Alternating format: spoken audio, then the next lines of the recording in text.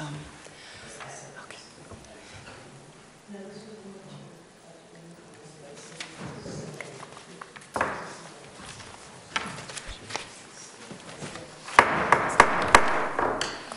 Hello, and welcome to the um, rescheduled Thursday, March 15th regular school board meeting. Um, Will you please uh, stand and do the Pledge of Allegiance with us?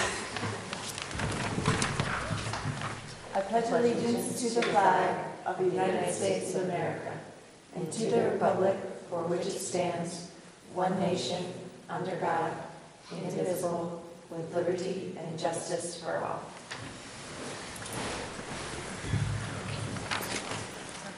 Okay.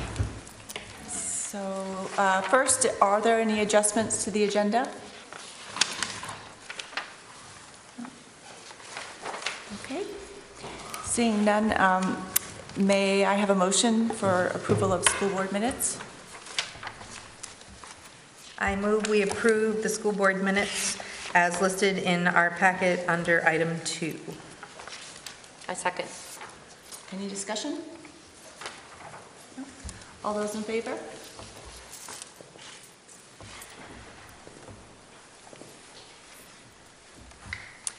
Um, Next are uh, comments from our student representatives. Hi, everyone. Um, it's sort of been a while. I'm happy to be back, though. Um, so we just wanted to give you a couple quick updates. Uh, to start off this weekend, um, four students from Cape Elizabeth are going to a conference um, known as Can We, um, and it's a journey to explore ex- and experiment with civic dialogue across differences. Um, I think it's a very pertinent thing that we talk about um, in this time, and it's sponsored by Waynflete, um, but like I said, six other schools are going, so it should be a very interesting event. Um, in addition, a group of students tomorrow will be attending the third Model UN conference of the year, um, and it's at Boston College.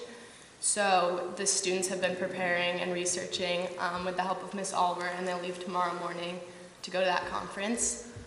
Um, also, I'm happy to announce that I, um, along with two students, Liv Cochran and Isaac Dinnerstein, will be attending Seeds of Peace this summer.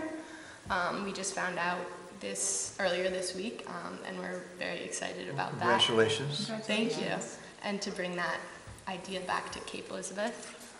Um, also, a group of 20 students um, from Club Unify and National Honor Society have been working together to raise money for um, Strive Rocks, which is um, the biggest fundraiser of the year for an organization that offers um, programs for students with disabilities to attend anywhere from they actually have a college program to um, Wednesday night educational series. Um, so they offer like a wide variety of things, a social night. Um, and I've been lucky enough to volunteer there, and it's just such a cool organization.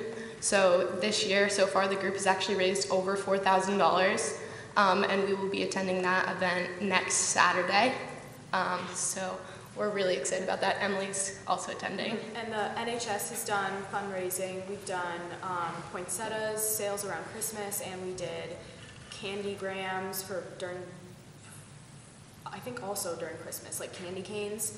Um, and we've, our group has been really excited about going to Strive. That's something that has become more of a, um, an organization that's become more apparent to our community, our school, our high school community in the last couple years. Um, Allison's done a lot of really awesome work with Strive, and I have a bunch of friends who are really, really passionate about it too. And so it's really exciting that we're able to fundraise for something so close to home, and that we'll get to attend the event also that we've been fundraising for all year.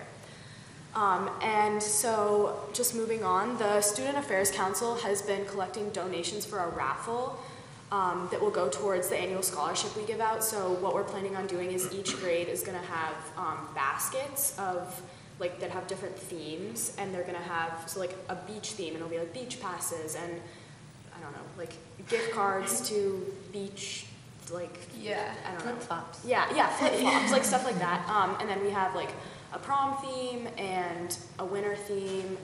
Um, so that's really exciting, and we think that's going to be a really great way to raise money for the scholarship. Yeah, and we're selling them at the Jazz Cabaret um, next Friday night. So And the morale has remained high in the high school even after some of the incidents that have occurred in the past few weeks. Um, staff and administration have urged conversation and kept an open line of dialogue, which is really important, and we, as students, really appreciate that. We think Mr. Shedd and the administration have done a, re- a really, really amazing job on. Um, so sports updates. The last, unfortunately, the ho- boys hockey team lost their conference final to Greely um, in Lewiston, but it was really exciting actually because they went to Lewiston on a Friday night and then they won that game and then they went back on a Tuesday and I I think there were probably 20 or 30 students that attended both games and it's in Lewiston so it's a pretty big commitment, a pretty big time commitment, but it was really fun to cheer them on. Everyone loves going to the hockey games and attending sports games. Um, in terms of snow days, they have been difficult for especially I feel like seniors um, because we're going on the AP Gov trip next week, and so at least in in my AP classes, the teachers have been really pressing us to um, take all of our tests that we have missed four or five class days of study time, um, which is frustrating and difficult, but I don't know. I think there's nothing you can really do, there's nothing you can really do about it. We have to take the test, so. For juniors too, especially in AP classes, as Emily was saying, it's so hard because like that test date in May isn't going to move um, based on our snow days. So we really do have to cram to get all that information in. Um, but it is what it is. Do you ever talk about the? You start. Okay. Um, yeah, and then the last thing we wanted to address was the walkout today. Um, I would say probably close to 100 students. more. A lot more. Yeah. I'm Not good at estimating. um, walked out from class today at 10 p.m. Um, to honor the victims. We had Kim Noft, uh, a junior at the school. Um, she started off um, the Yeah, the, the event um, with a song, and it was very very nice. Um, really powerful. and then we, um, there were 17 students, um, and they all lined up and gave a brief um, bio on one, each one of the victims, um, and that was really powerful too. Um, and then Christy Gillies, um, a representative from the Maine Gun Coalition, um, and Tori McGrath and Tony Inhorn all gave really powerful speeches. They were the three that organized the event primarily. Just short about the importance of voting and just smiling at people in the hallway and being an active bystander instead of a passive bystander, um, or and being an advocate, um, and just I don't know. It was really, really powerful and really moving, and I just think it was really awesome that one that we had the school support. I think regardless of the school support, I still would have walked out of class, um, regardless of the punishment that I received. That's something I feel really strongly about, and but it was really, really great to see staff and administration standing behind us and supporting us. Yeah, I agree. I through Students of Peace, I have connections with students at a lot of different schools, and hearing their like troubles with their administration regarding this event, yeah, um, made me just feel really lucky for um, where we are and the support we have behind us when these type of things happen. I think that's it. Thank you. It was re- really well done, really well done, and- and you're right, so powerful. Thank you all for putting it on, again, on two days after, or a day after it was scheduled. Mm-hmm. Quick comment and question. First of all, congratulations on the, the the way the students organized the walkout. I have a lot of admiration for that. I think whichever side of this you happen to come down, these are the kind of things that you're actually going to remember long after you leave school. And it's, I think it's, in that respect, it's really important. I was lucky to enough participate myself as a student, similar types of things at that time.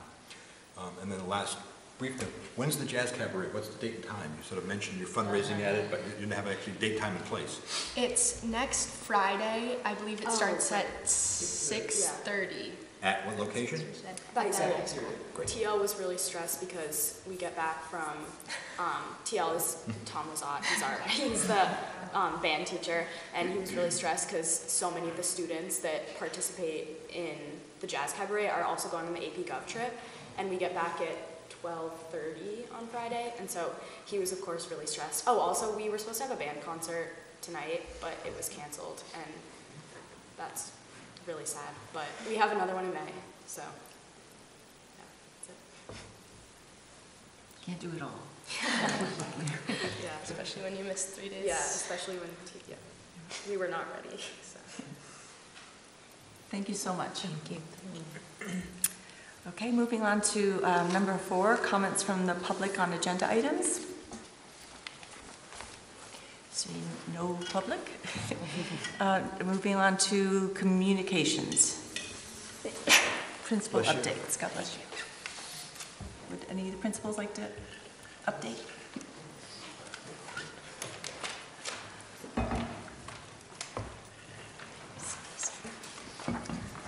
Hi, good evening.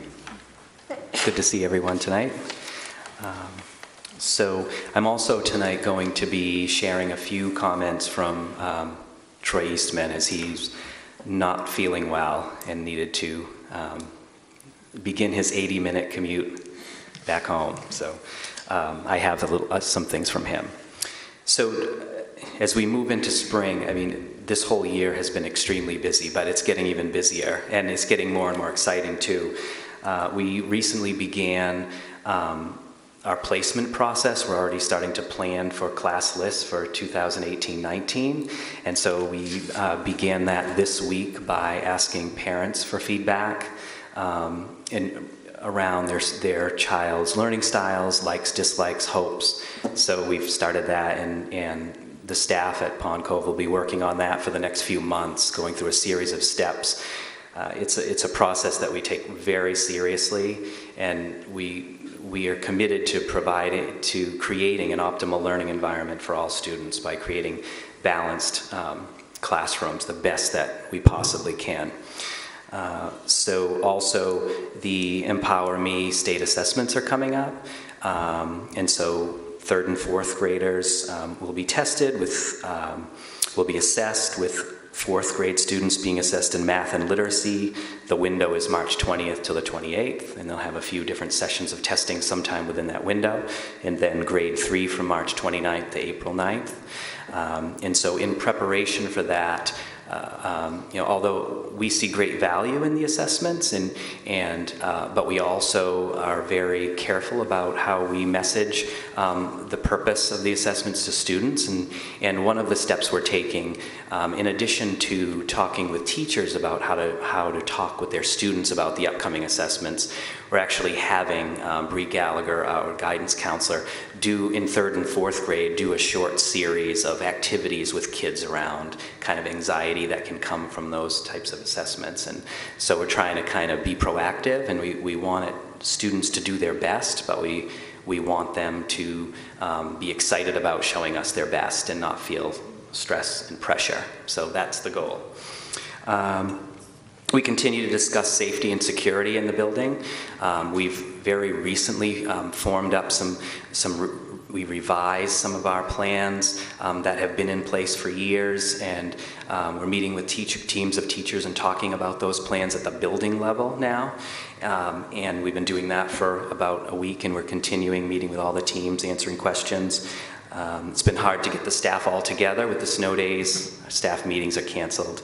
Um, but what one of our um, one thing we're focusing on now is um, putting a solid system in place to ensure that substitute teachers are well versed in procedures, can access the procedures easily. So that's kind of what we're focusing on this week. Um, and so I have one more thing. I promise I won't take too much longer. Um, I think I have kind of an inspiring story here from one of our students, and I, I think a common theme that I've tried to share is that um, we at Pond Cove we really look for opportunities to have student-led initiatives. We've had um, different fundraisers throughout the year that I've explained, like the, the Give Green, Wear Green, and, and donations to the Barbara Bush Hospital. All um, all those ideas come from students, and so Um, I have another example of a student leader here, um, Lena Robbins. She's in third grade. She's in Mrs. Adams' class. And I wanted just to read um, an email, a quick short email that she sent to Mrs. Florey Pettit, which has inspired this, our community to, to um, um, embark in another um, journey here. So I'm just going to read it, and it'll be quick. Hi, I'm Lena, and I moved to Cape Elizabeth in August from Chicago. I really like it here and have noticed that people are really giving. At my old school, we always did service projects, so I joined Caring Kids here and really liked the projects. I thought, let's do more. Preble Street in Portland helps teens and adults when things, with things that they need when they may be going through a tough time. My goal is that every kid in the school brings at least one th- thing during the week of the drive, so it's a drive for Preble Street. Together as kids, we can help a lot. So this came from her. I called her um, mom, and she said that this all came from her the idea, the email. Um, the email came with an attached flyer.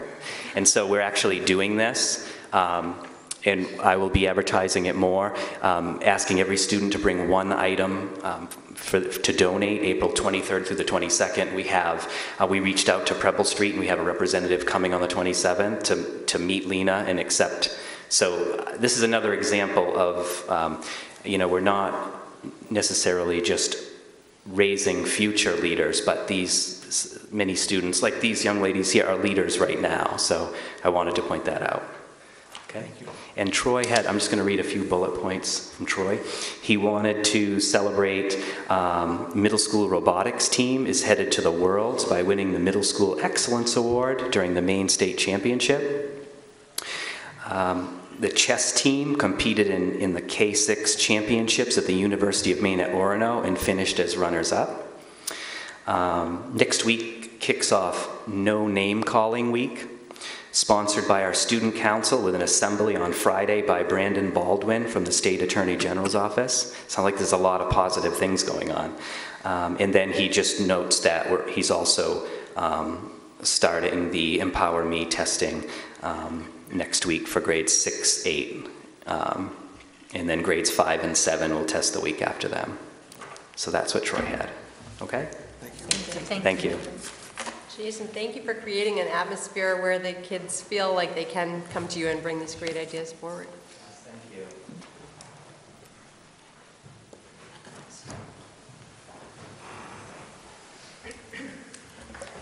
So I had three very different things that I, I wanted to touch on, and one I wanted to mention um, an unsung hero award for me of a person in Cape Elizabeth who a lot of people don't know, I've never had the opportunity to work with, and wouldn't recognize if he walked into the room.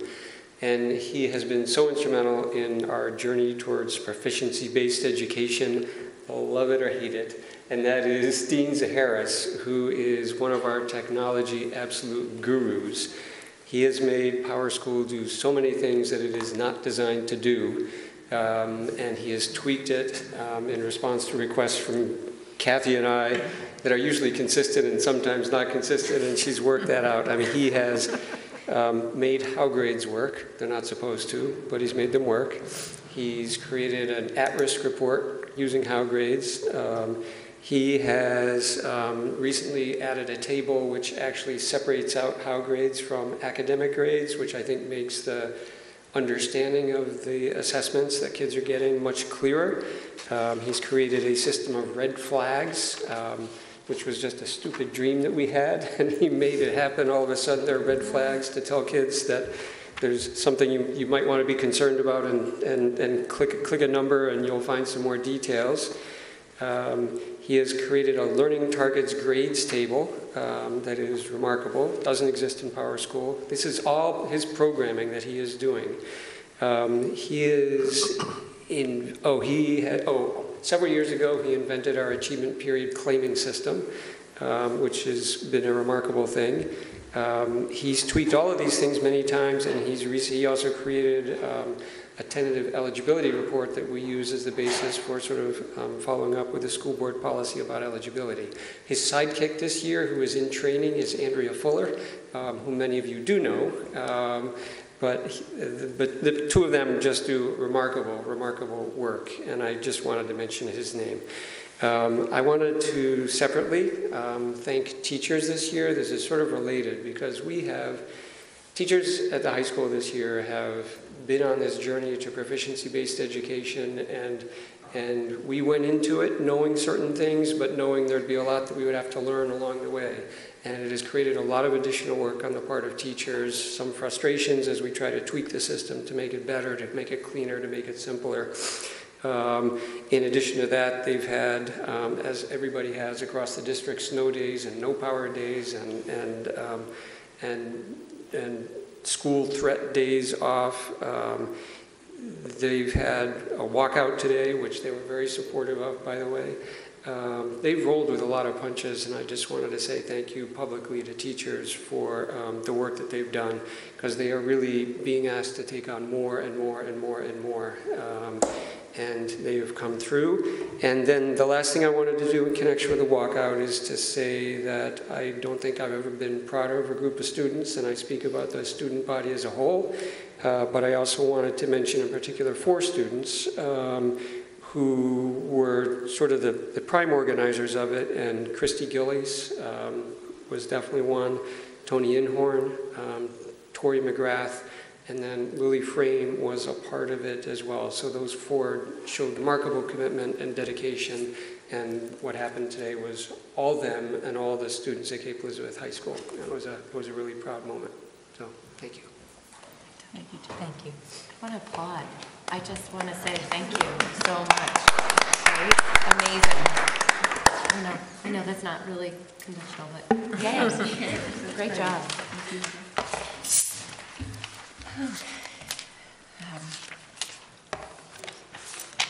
So now, we're going to move on to um, the budget update. Who does that? I I don't know, it's down here. uh, Let's pass. Let's, let's have an adjustment to the agenda. Let's see, let's just take that off, because that's, we're having a workshop afterwards. I think that's the mix-up, so. Now, we'll do superintendent's report. Okay.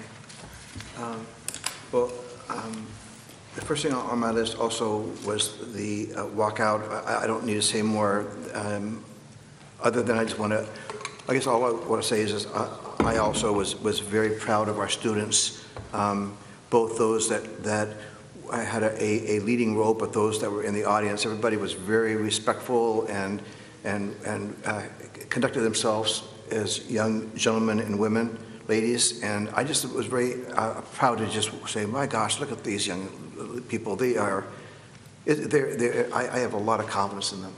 And so that was very nice. I would mention that tomorrow apparently is the middle school walkout.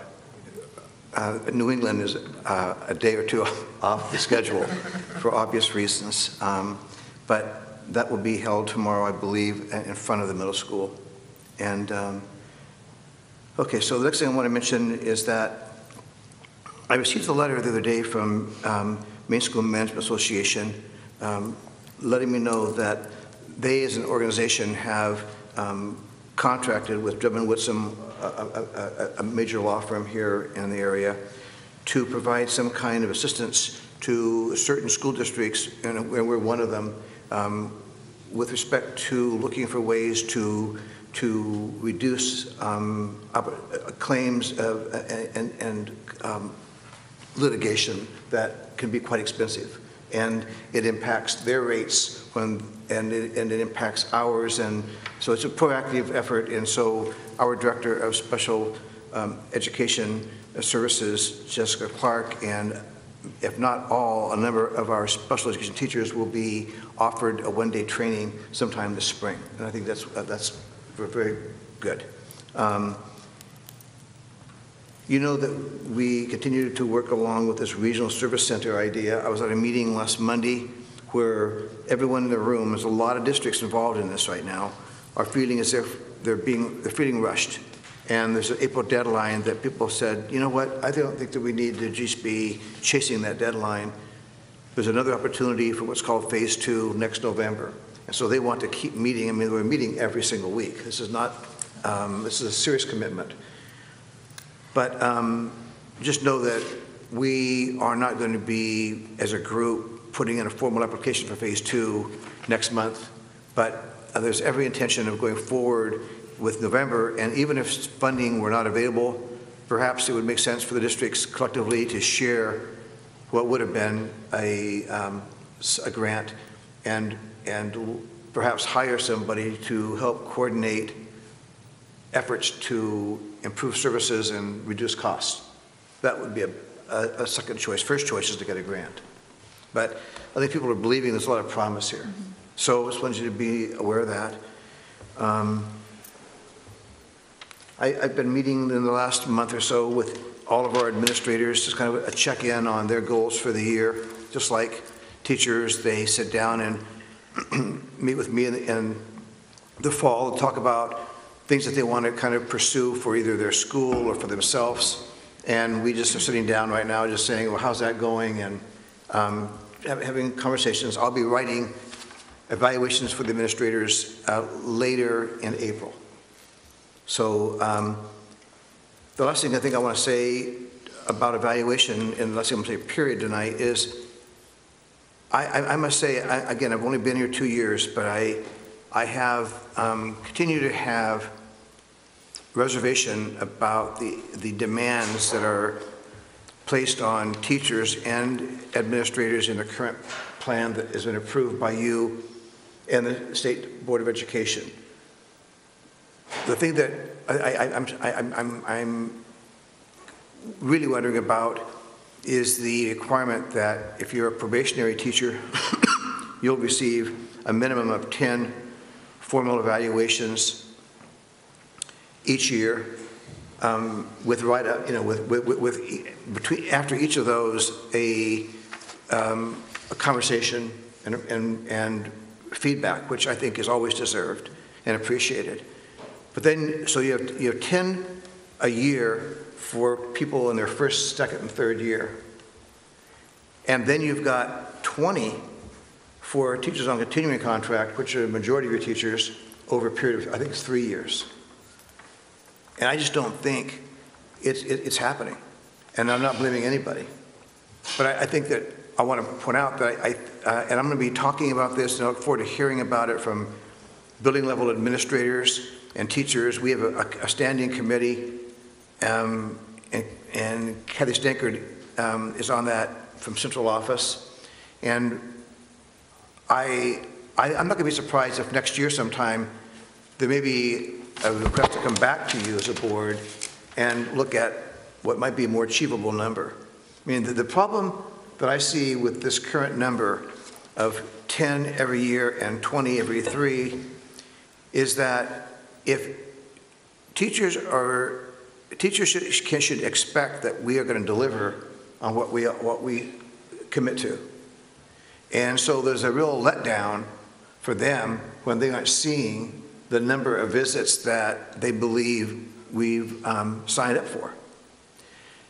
So that's not good because they're feeling let down and disappointed and I don't know, but it's not good.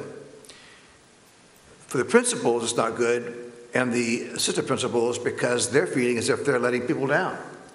And they don't want to, they don't want to underachieve, and they don't want to let anybody feel they're getting what they're, what they deserve, because um, it's, it's in writing.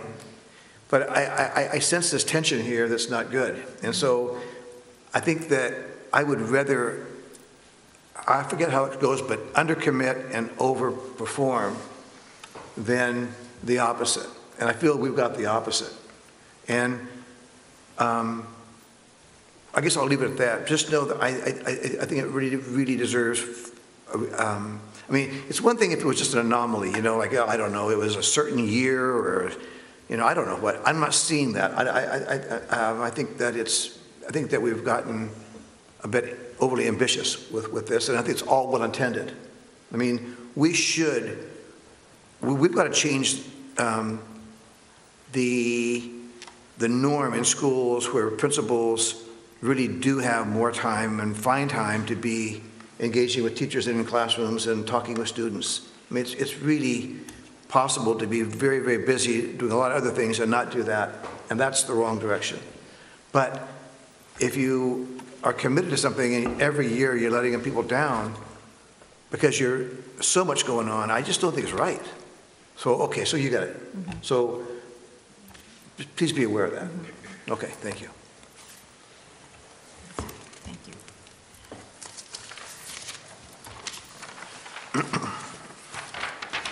Oh, am- may I do this next thing? Yeah. I mean, I don't know if you want to do it here. The next thing under here is a bullet about a proposed uh, Department of Ed waiver for student days. But further on in your agenda, it's also down under item E for um, action for new business. Do we always do it then? Yeah. Okay, so we'll- we'll do it there. Okay, thank you. Moving on to. Bless you. um, 6A, may I have a motion? I move we approve the Cape Elizabeth Education Association's request to form an ad hoc committee to study teacher planning time. Second. Any discussion? Bless. God bless you. This arises um, really around, I'm, I'm going to say particularly difficulty at Pond Cove. And um, we had uh, talked about it possibly going into policy, and it didn't feel like it, it really belonged in policy. And so now um, teachers and board members um, are going to get together and talk about how to make sure that um, the, the history and the lessons that we have learned aren't forgotten um, and, and are sort of um, kind of memorialized in the appropriate way. So um, uh, that's kind of the background around that. I don't know if Howard, you want to add anything? All I would add is that I think that we all agree that, as- to the degree possible, we want to provide teachers in all three buildings a relatively equal amount of playing time. They've all got different jobs, but they all, we, we understand and we agree that um, a, a- a noticeable imbalance is not desirable. What is desirable is for a relatively equal amount of time to do all the important work that they want to do. So. Sorry, um, oh my gosh, sorry. What's the end point for the committee? So it's an ad hoc committee, does it have a? I think the end point is that they- they would come back to you with a recommendation of um, a letter of intent or a letter of agreement with respect to planning time going forward. Correct? That's my understanding, and my apologies to the chair for acknowledging. Yeah, oh, oh, oh. All right. When, is- m- when also was a part of this, I don't know if there was anything that he wanted to add. Um, No, I don't, like, if you recall, it was,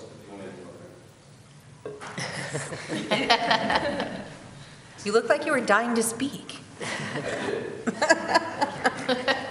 That's interesting. Um, uh, This was uh, agreed in in the contract. There was a side letter that, uh, that uh, was in the contract last year uh, that said that this would be addressed as possible policy. Um, And thinking about it, we didn't think, uh, we agreed that that wasn't probably the best route to take. Um, And we're just hoping that, you know, this has been an issue at Pond Cove in particular. And so they've been struggling with having planning time. They have it this year, and, um, and it's been, uh, it's really paid off in their work. And the the key is that it continues. So we were just looking, we had drafted a letter of intent um, that, to be looked at by this committee, um, and hope that going forward, the association and the school board can agree to this letter so that, um, so that that kind of thing, that the planning time at Pond Cove can continue. Any other questions? Means I can go now. Thank you. Thank you. Okay, um, may, no, not yet, I was about to say that, yeah. May I have a vote? All those in favor?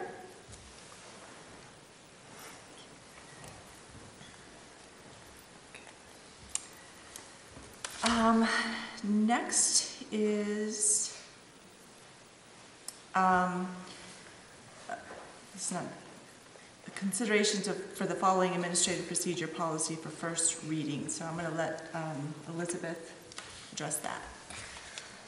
So for the last two policy committee meetings, we have been talking um, in particular with the principals about um, the administrative procedures for transferring and hiring personnel, which really um, bubbled to the surface because it, it became apparent that there were um, kind of different traditions being used at different, at, at each of the buildings when it came to hiring, and it was, it could be confusing to some people. And this, this goes back into the summer, I believe, if I'm not mistaken. It, it's, it's not happening now, but bubbled up over the summer. So, um, we had everybody in the room together talking about, um, the, uh, you know, appropriate steps to take, you know, um, advertising, you know, within the, the school department first, and then how many days, and then um, publicly advertising for X number of days and that sort of thing. Um, Just making sure that kind of everybody is on the same page and we'll be um, running those kind of searches the same way. So people, people feel that they've had, you know, a a fair crack at something. Um, So we worked that out, and um, the language around vacancies and transfers that you will see in this policy is taken straight from the teacher's contract. So everybody here needs to remember, if this ever gets changed, that we need to change this policy too. Um, And uh, we, I mean, we did some cleanup of, of language, but mostly it was around making sure there was consistency. Right. Thank you for that.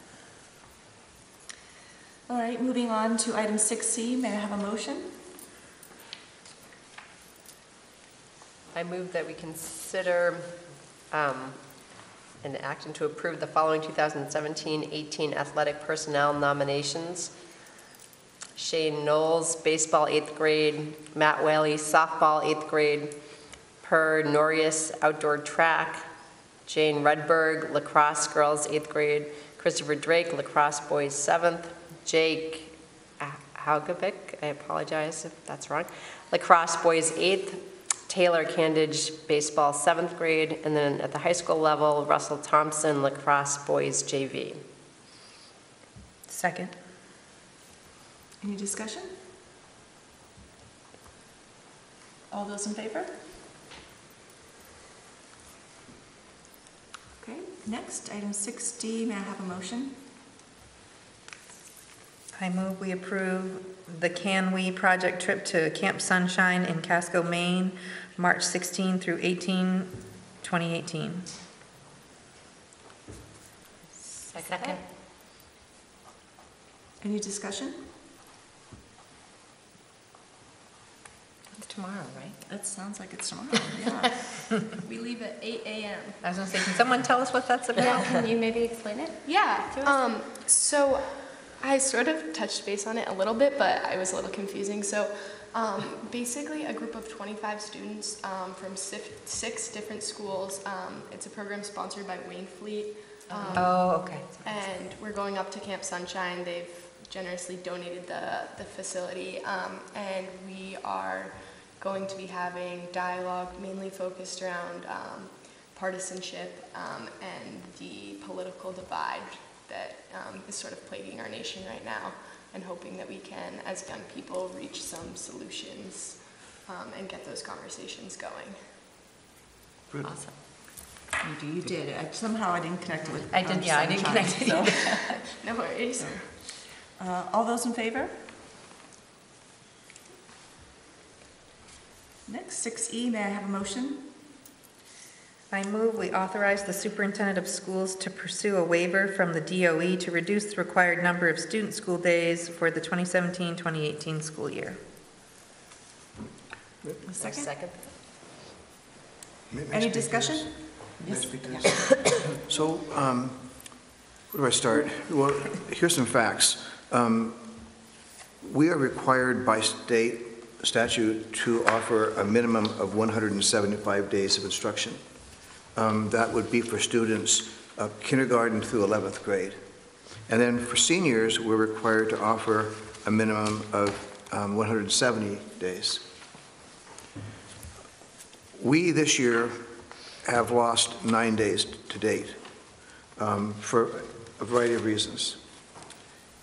We kind of plan in a calendar, though it's never more than just, you know, a, a target for up to five days of, um, of cancellation during a year and hope that we don't ever get near that, but that's kind of what we tentatively use. We, Mr. Shedd picked um, the first Su- Sunday, Sunday Saturday, graduation? Sunday. Pick the first Sunday after what would have been the 170 days plus the five cancellations. That happens to be, I think, the 10th of June. Right now, the seniors must make up at least five days to get to the, right? Must pick, must pick up at least five days in order, Yeah, I thought it was four. in order to um, meet the requirement, the minimum requirement of um, 170 days. That puts their last day on that Friday of of that week. And um, we already have um, plans for retirement, uh, for, for graduation on, um, on the, the 10th, and we plan to honor that. Um, We have people planning to fly here, to travel here, to be with their families, to celebrate. We have, you know, reserved, and we, we need to make that work, right?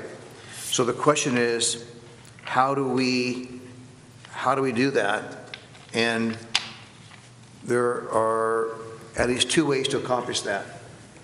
One way is to have something in place just for seniors. And another would be something for everybody, K-12. And there's, I think, logic, if it's possible, you wanted to solve it all uh, together. It's less confusing for families and for transportation and staffing, and a lot of reasons why you want to just stick it together, I think, keep it together. So, right now, by the way, the last day for, for students K-11 is the 22nd of June. Any more cancellations, and we're into the very last week of June. It's pretty unheard of. Um, And I, I, I received a very thoughtful email today from one mother, I sh- I shared it with you, and one of her points, which I think is very persuasive, is that I really want my kids to not lose out. I mean, a lost day is a lost day. And I get that point, and I think that the administration and teachers also get that point.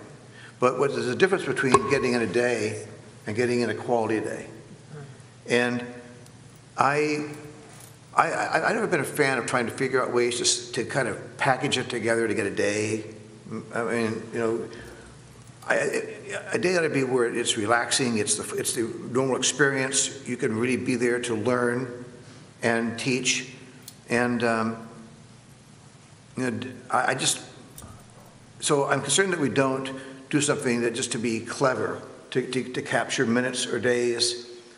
And, and I feel that that somehow is better than uh, other alternatives. One alternative that that I personally think, um, or I am recommending to you, and, and please do with it as you wish. You could say no thank you, or you could modify it, or, or approve it. But I recommend um, re- requesting five days. I've never asked that before. I've asked before for one and two, but I never asked for five. Um, But I think that this year has got a lot of unusual circumstances. We've had um, power outages over a long period of time. Beginning in October, we had some power outages. We had one recently. We've had a lot of snow days. We've had a cancellation over safety concerns. Um, I mean, it's just been a whole lot of things added up to get to this number nine. And um, I, I've, I've I've had the opportunity to speak to some degree about ideas with um, Jeff Shedd. I shared with you, by the way, in your packet, some ideas that he has for a combination of some Saturdays, half-days, and maybe some one hour after school. But there are so many other ideas that have come up. I've also had a chance to speak with, with Wynn Phillips um, and Lisa uh, Melanson. And, you know, we, we've thought of a number of things. I mean, one idea is that you, if you look at the April break, there's a Friday, the 13th, before the break starts. One idea would be to have you change the calendar and count that, call it a- an instructional day. Do you see that? The 13th of April, that's one, that's one of many ideas. Another one would be to take days out of the April vacation, right? Another one would be um, to add days to the end of the year.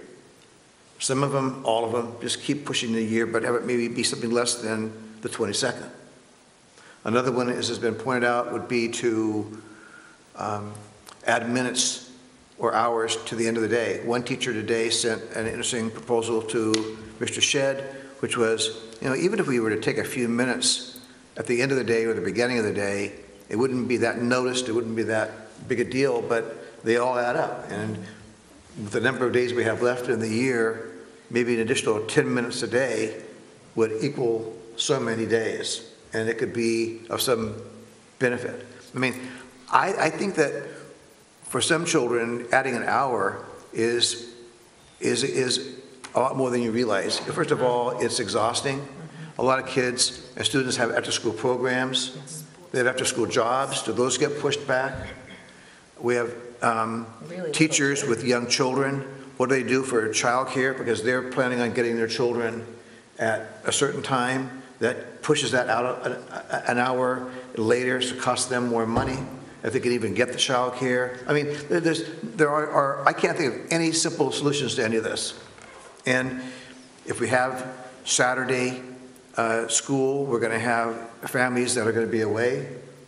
We're going to have teachers that are going to be away. On vacation periods, including the 13th of April, we have people who've already got plane tickets, bought and ready to go. We have teachers that are ready to go. I mean, we, if we do some of these things, we have to be patient and tolerant and, and say, if you can't be here, the world doesn't end. If you can't be here, we'd appreciate it, and those of us who are here, we'll do what we can. But it- don't ever think it's going to be the same as the days we lost. It won't be. Mm-hmm. It's going to be a day. So if, if we were to request five days and they were to be approved, assuming we had no more cancellations, the seniors would be, would be on. I believe there aren't, that solves their problem. And everybody else, they- they, the other students then would move up a week to the 15th. That would- would, would, I think, be uh, uh, quite ideal. If we had more days that are canceled, I mean, some people are already talking about another nor'easter coming in next week. I don't know. But I almost think that for the seniors right now, they need to, if we have to have more days for them, we figure out a Saturday just for seniors and, and, and do something for those that can make it and not worry about everybody else. And have something that that the students and teachers and principal can feel is, a- is a acceptable solution for them. And just count on the fact that they'll, they'll do their best. Um, The administration is working with the Teachers Association on developing some kind of a survey to ask our teachers, well, what do you guys think? I mean, If, if all these ideas, if you had to pick one of them, what would it be? Do you have other ideas that we haven't thought about? But we're, we're, we're trying to keep exploring what could be a, a educated, an educated response. But as Mr. Shedd pointed out, we don't have a lot of time here to figure it out.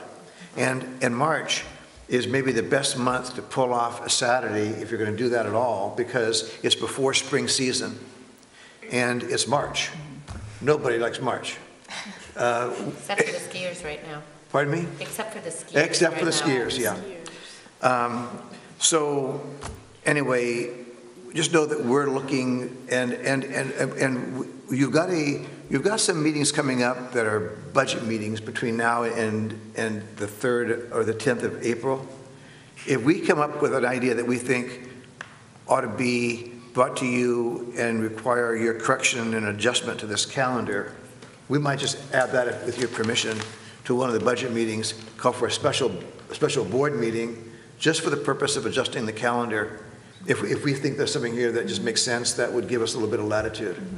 Um, So, here we are. I'm just, I, I- don't know if others in the room have got more to add to that, but we want to, I, I, I, I think that um, if you support the idea of a waiver, I'd like to know that, and I'd like to know how many days you would want me to request. Okay, Elizabeth? Um, So during the last, uh, this past snowstorm, there was a lot of uh, media attention paid to the, the the last blizzard of this magnitude, which was in 1993, which happened to be my senior year in high school, and which, at which point, all the schools had to apply for waivers in order for the seniors to graduate. So there is precedence Right. for this to happen, and I was glad because I wanted to graduate on time. Um, And I take all of this very seriously. I believe the board, the administration, the teachers take all of this very seriously. Um, And just in uh, kind of passing joking, dropping off my, one of my children at school one day, I happened to chat with a middle school teacher, and, and this, none of this was on the agenda, it was very social. Sort of like, oh gosh, we, you know, we're going so late, and oh, you know, why don't we just add 10 minutes onto the end of the day for the next, because it would take like 60 days or something. It would take a really long time to make up days by doing that 10-minute thing. And the teacher just looked at me and said, what kind of quality do you think that would be? And I said, I think it would be a joke. I don't think it would actually do any good. But if we're, I mean, it's kind of, we have to think about what the point of it is. Is the, you know, is if quality matters, then we have to be aware. Um, You know, that, that one hour, when I first read this packet, I felt it was very much targeted towards seniors, with good reason, because I think there's concern around that graduation date. But I can't see having a kindergartner go an hour longer without a snack and a nap and a, and a, like, you know, I can't see my fifth grader going an hour longer and then going straight to the, the middle school musical rehearsals, which are going on right now. Um, The, you know, the, we're, we're kind of in between seasons for high school, but we're in the middle of the second spring season at middle school because they get that extra, like, does anybody know what I'm talking about? Yeah. So like, I think it it poses lots of difficulty, but I think the number one, even if we're not thinking about jobs and plays and sports and things, is quality. Are we just saying, okay, we're grinding it out and it doesn't matter? Because we just need to get it done and knowing that, you know, if, if we do this April vacation idea that, you know, we're going to not look at the attendance data because it would be horrible and the quality would be poor. We look at the Saturdays, I think we would get a similar, Right. so. Um, I'm personally in favor of requesting the five waiver days. John? So I I think you hit a couple of points, one of which is a quick question. What's the turnaround time on a waiver? I actually think we, we have very little time to make this decision, and the sooner we make it, then, because everybody's planning on all of these schedules. The, the letter would go out tomorrow, and I would hope to have an answer within a couple of weeks. It won't, it won't be overnight. I mean, I, I, I- I think that the commissioner, um, I mean, I can, I could call and ask him to be paying attention to this, um, but you can imagine other school districts are having some of the same, similar thoughts, and um, normally when I've made this request, I've heard back within a couple of weeks. Yeah. Because I, I think the timing and the turnaround is critical here. Yeah, Because what by, by, by- the time we hear back, we're not, we're gonna have even less room to operate. That's right. So what, what I would suggest is that we request five, and if not five, then four, and we can figure out, um, you know, whether it's that additional Friday and the April vacation day, or it's like try to make it look as best as possible. But I, I also want to echo exactly what Elizabeth said about, about quality. Right. Um, it, you know, I'm really not inter, I don't think it benefits anybody to go through a charade Right. of the education. I mean, you have folks here on AP exams in May. Right. They're not moving, and we're not gonna get that time in before then for a lot of these people. But, You know, the, the school I went to prided itself on its academic, academics. But yet, because of the rules, there was a fellow in my, a year ahead of me, who was found out in his last month, he's a sh- credit short of graduating. So they figured out a way within the rules that you could register for a single class. It was an a non-academic, one-credit class, it was for athletics. And all the other athletic ones had begun, but bowling didn't matter. Bowling, it was only how many games you bowled. Okay? So in, in April, here's a guy bowling games on three lanes for his one credit to graduate. And I'm suggesting that we do not want all our students to spend their time bowling like this guy did. It's a charade. And so we want, if we're going to do it, we want to figure out how we can get quality days.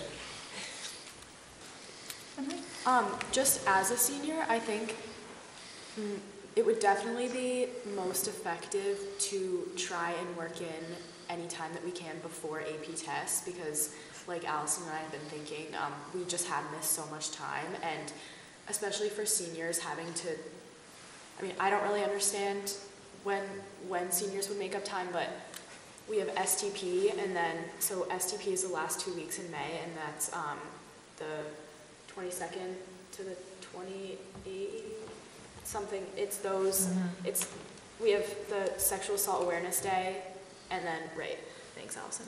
Um, It's June. So, the 21st and the 28th are the two Mondays, and we go Tuesday to Friday. Um, And I just don't see being there being a point for seniors. I just think the quality would be so much greater if it was done, if the days were made up in March and April than if they were in May. Right. Well, Yeah, uh, sorry. Sorry, go ahead. Um, I, I agree with that, and like obviously not all students are AP students, so it would be differ um, for each student. But yeah, yeah, but um, the fact that these days aren't moving and that we have to get like X amount of content in before these days, I think would drive these students to work harder if we were to say go for a Saturday and the quality would be a little bit more there than it would be if we were to do it after, um, like noted in the original plan. And I think So students would definitely, sorry, rather go for a Saturday than, I, I personally could not do an extra hour after school. I just, in, com- being completely serious, I just don't think many students could, could do that. I think people would rather go on a Saturday. So may I speak to that? Yes, please. So you've both been very clear. Thank you. Um, I mean, my impression is that we will hear back shortly. I mean, this letter would would go out tomorrow if you approve this. And, and um, I would contact him maybe about a week out and say, you know, I'm looking forward to a response. Um, But if, if it is, if it's turned down or modified, I would know pretty quickly, I would hope by the end of this month. And, and, and then Mr. Shedd would work with seniors and with his teachers, and they would figure out what are we doing, I think just for seniors. I mean, I think we could figure out everything else. I mean, it, it- it's really the seniors that we're the most concerned about. But we'll, you figure it out. And then if we need to, we'd come back with a recommendation to adjust the calendar. I'd I'd like to, just to weigh in, um, one question I have off the bat is, this, is this impacted at all by PAS? Like, we're not tied to the fact that, you know, we normally have to have no less than five dissimilar days, there's, that's No, not no, gonna no, be, that's not gonna no. be a complication. They've been closed every day, we've been closed, by the way. Yeah, no, I figured, but, so, um, m- my feeling is that you should definitely ask for the five days, um, hope that we get them. But I also, I also think that w- we should highly consider adding two days, either whether it's that Friday of, of break or, or Saturday, um, or two Saturdays, because I think, I, I, I agree that it has to be quality time, but if we approach it with a different perspective, like if we approach it with like, okay, these aren't gonna be, it's not gonna be a typical school day, let's make it something different, let's make it something better, let's use it as an opportunity. Some people will use it for AP, you know, some people can use it for other reasons, but I think about the, the mom who wrote a letter, and we, we do owe an education, and um, two extra days, even if we get the five days, is, is better than, you know, if planned well, um, and approached with the right kind of attitude, it could, they could be great two days. Right. So that's what I'd like to recommend. Kimberly? Could I, I, I second that I, in a way. Um, I, I totally appreciated, um, the letter that we got today, and I'm very much on the same page. Um, and I, I guess in an ideal world, I would like to just carry through and, and finish whenever we've made up all the days that we've missed. I recognize that with seniors, that's not feasible. Um, and I, and I hear and, and value that for the seniors in particular, perhaps having time before the end of the school year, or before May even, to, you know, is, so is there a scenario where seniors could go on a Saturday and have the rest of the school, I I mean, we can have some waivers, but I, I am in favor of making up as many days as we can, so have the rest of the school carry on and have just regular school days where their schedule is as they're used to and So, I, I, I, I, I believe I understand what you're saying. And so what I would, would like to do would be, if you agree to the waiver, let that go forward, and then let me work with the administration and teachers and students, and come back soon with a way that we could capture, you know, back a couple of either half-days, but I mean, I, I, I don't know, I'll look forward to hearing what teachers say on the survey that we, that we're trying to send out about the one hour after. I don't think it's going to be as um, popular as some half-days. So let, let- let- I mean, we need to talk about this, but I think what you're saying is, let's try, try and do what we can to get some level of quality um, for some kind of, some kind of makeup here for a couple days. Yeah. I- Okay. I, I think, I think, I think some makeup days is worth, worth it. Okay. Elizabeth? Heather. Heather? Uh, I have a question, sort of following up on what John was saying a little bit earlier. If you, uh, I'm asking about process. If you send in a letter uh, to the state, to the commissioner, asking for five days, um, and he sends it back to, is there a way to then ask for four or three or whatever, and just, or will he, s- will that come, that response come as, well, I can't give you five, but I can give you four? How does that work? I mean, is it an all or none? We ask for five or that's it? Well, I, I've asked for Or- a certain number several times, and they've always been approved of that number, but I've Okay. never asked for five days. Right. I've asked for, I think the most I've ever asked for was, was two. Mm-hmm. So I um, guess my question being is if we get rejected for five, I'll take two, if we can get two. And Well, do I- you have I an think- idea of how that would happen? Yeah, Would you well, have to if- if- if- if it was- reapply? if it was- yeah, I think we would. Okay, Yeah, and we would say that um, we are doing our best to bring back some days in a creative way, and here's what we're doing, and we're asking you now, if we could change the number to something less than five. Mhm. okay, thank you. Elizabeth? So I had a couple of questions, and the first is, um, and you may or may not know this, but if you request five and you're granted five, is it that we may use up to five waive days, which means we, we, we could just waive all five? Or um, maybe we only need to waive three because we're building two back in? Do you know, do we have Right. that? Does Yes. asking for five give us flexibility, is my Right, you're not question? required to use all five, you can take, use the ones you want. Which, so I'm very much in favor of you asking for five and giving us that flexibility, either to use all of them, use three of them, use not, whatever. My second question is, um, Is there a sense of at least two being granted because there was a state of emergency declared in October? Well, I- I- Typically, I've s- if state of you- emergency If you look does at this play article in on today in the um, Portland um, is it Press Herald, yeah, there's a front page article about snow days. Mm-hmm. And they quote in there someone from the Department of Education. I don't know if you saw that article or not. But I I thought what she was saying is that um, those don't count. It is, I, I- I just scratched my head. I I don't understand that, but, It's typically, state of emergency does come into play. right, it does. Interesting. So, uh, yeah, I, I would say we, we asked for five, but the, the teachers, administrators work together to let's, let's find a, a couple of creative ways to add some school days, Okay. even if we get five. Okay, I get it.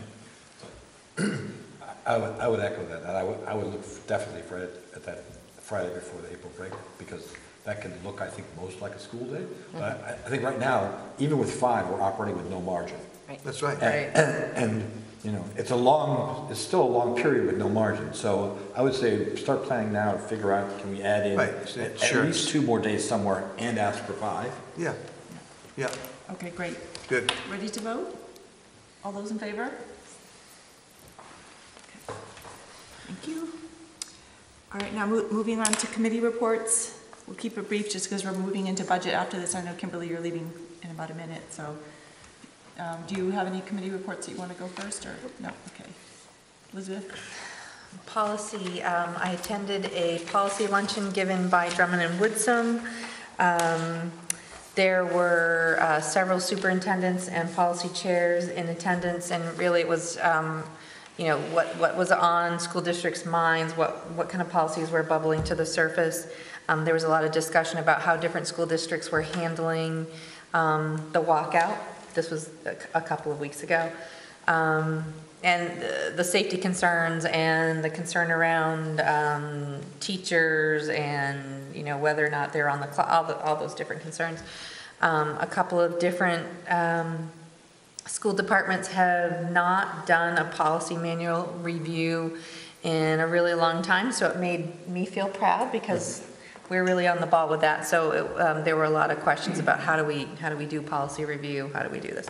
Um, I would say that it was a very useful um, and productive luncheon, and I would recommend um, going forward that um, the chair or policy chair especially attend. They're going to give these quarterly. And um, they just kind of tell you what's coming down the pike or what's, you know, what's bubbling up in other districts around you. Um, Upcoming in policy committee for Cape Elizabeth, we're going to be reviewing the homework policy, um, the nurses, um, and the policy committee will be reviewing concussion and head injuries. Um, We'll be looking at religious holiday, religious holiday policy. We're not going to be um, looking at religious holidays and, and making different determinations. Um, we're going to be talking about making a commitment to showing nutritional info for our school lunches for everybody. And um, I think that's, that's pretty close to what's coming up. Thank you. Hope? Um, From the PATHS committee, um, this morning was their general advisory committee meeting, and um, they had some updates uh, regarding the recruitment efforts from Cape Elizabeth. There have been 25 students who visited PATHS, prospective students who would be interested in the program, and six um, upcoming planned visits from our students. Um, In the last month, the students at PATHS participated in two different competitions that are both state and nationwide. One is the SkillsUSA uh, Championship, um, where PATHS students placed in either first or other, um, first or second in automotive, uh, culinary arts, medical, terminology, early childhood. So they're doing really well statewide, and a couple, um, and then the culinary arts students participated in a, um, the Maine Restaurant Association's ProStart Invitational, which is a culinary competition. There are five teams statewide, and the PATHS team co- competed.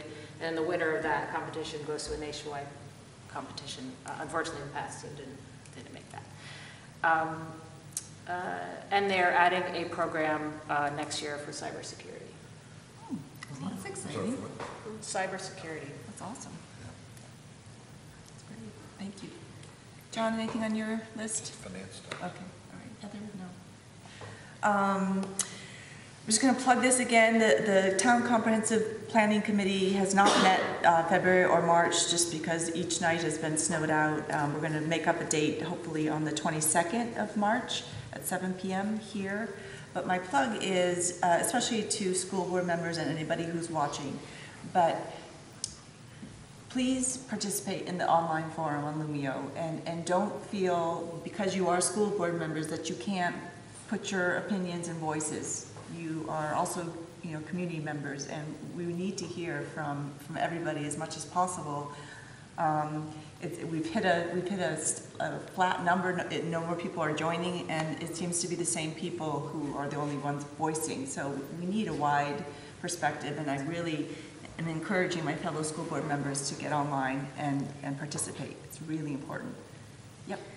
Um, I have joined that online forum and I participated only twice. And in the second conversation was around, um, you know, opportunities for, um, you know, raising the, the fiscal profile or raising funds in the town. And um, I, I didn't identify myself as a school board member, but did talk about, talk about needing to explore ways to raise revenue for the town and specifically in support of the schools. And what I want to share is that the moderator said that um, those comments would be better directed to the school board and that there was a school board member on the committee. So I felt like I, I, I, don't know that that moderator was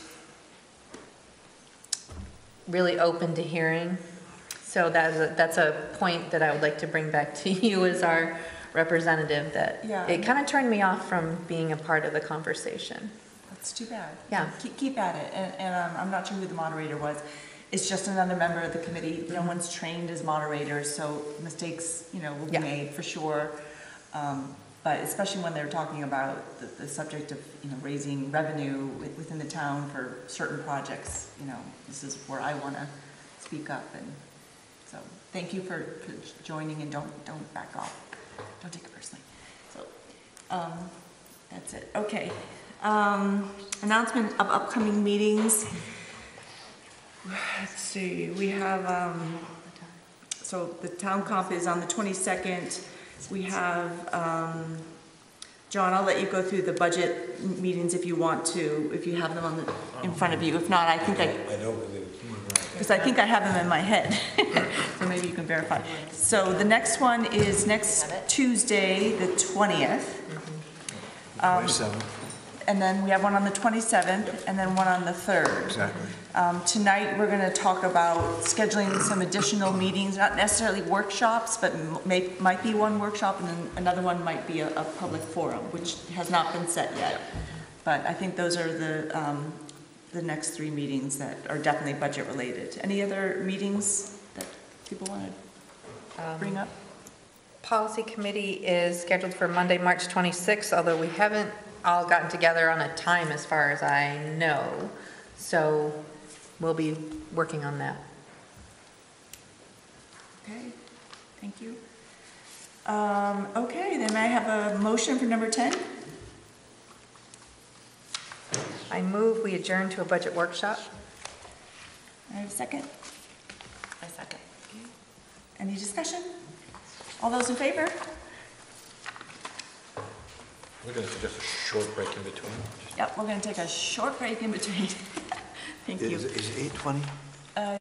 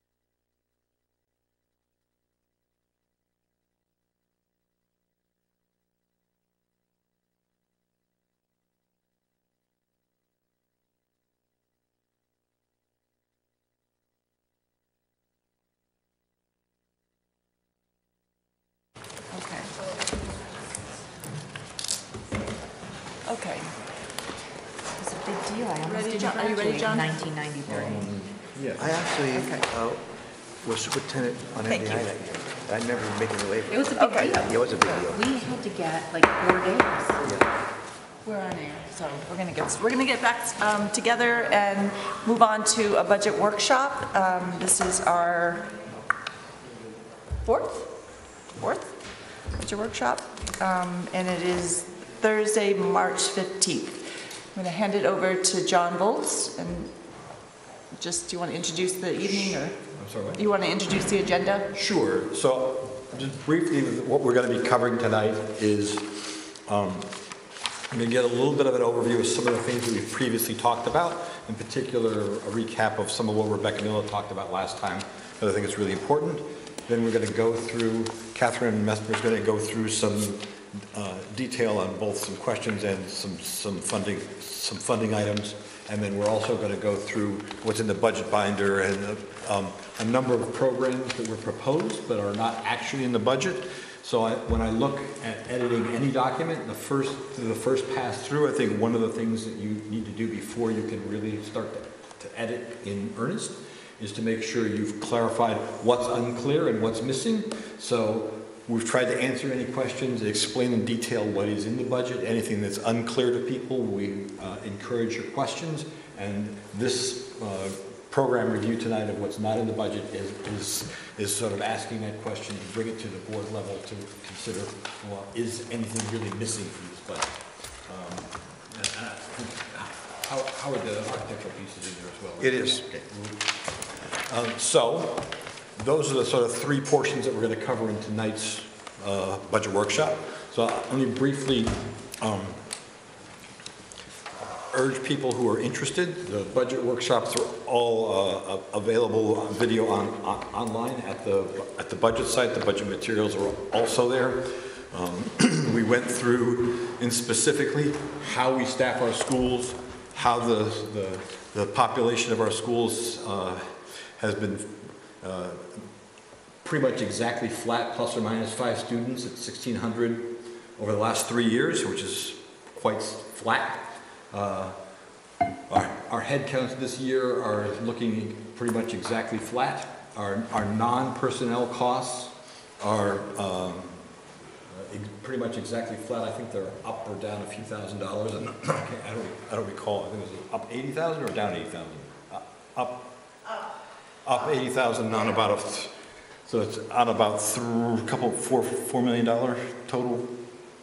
I believe so. Yeah, it's around that. It's around, um, so, in percentage terms, it's less than, um, it's far less, it's like 0.2% or something like that, I think, of the non-personnel costs.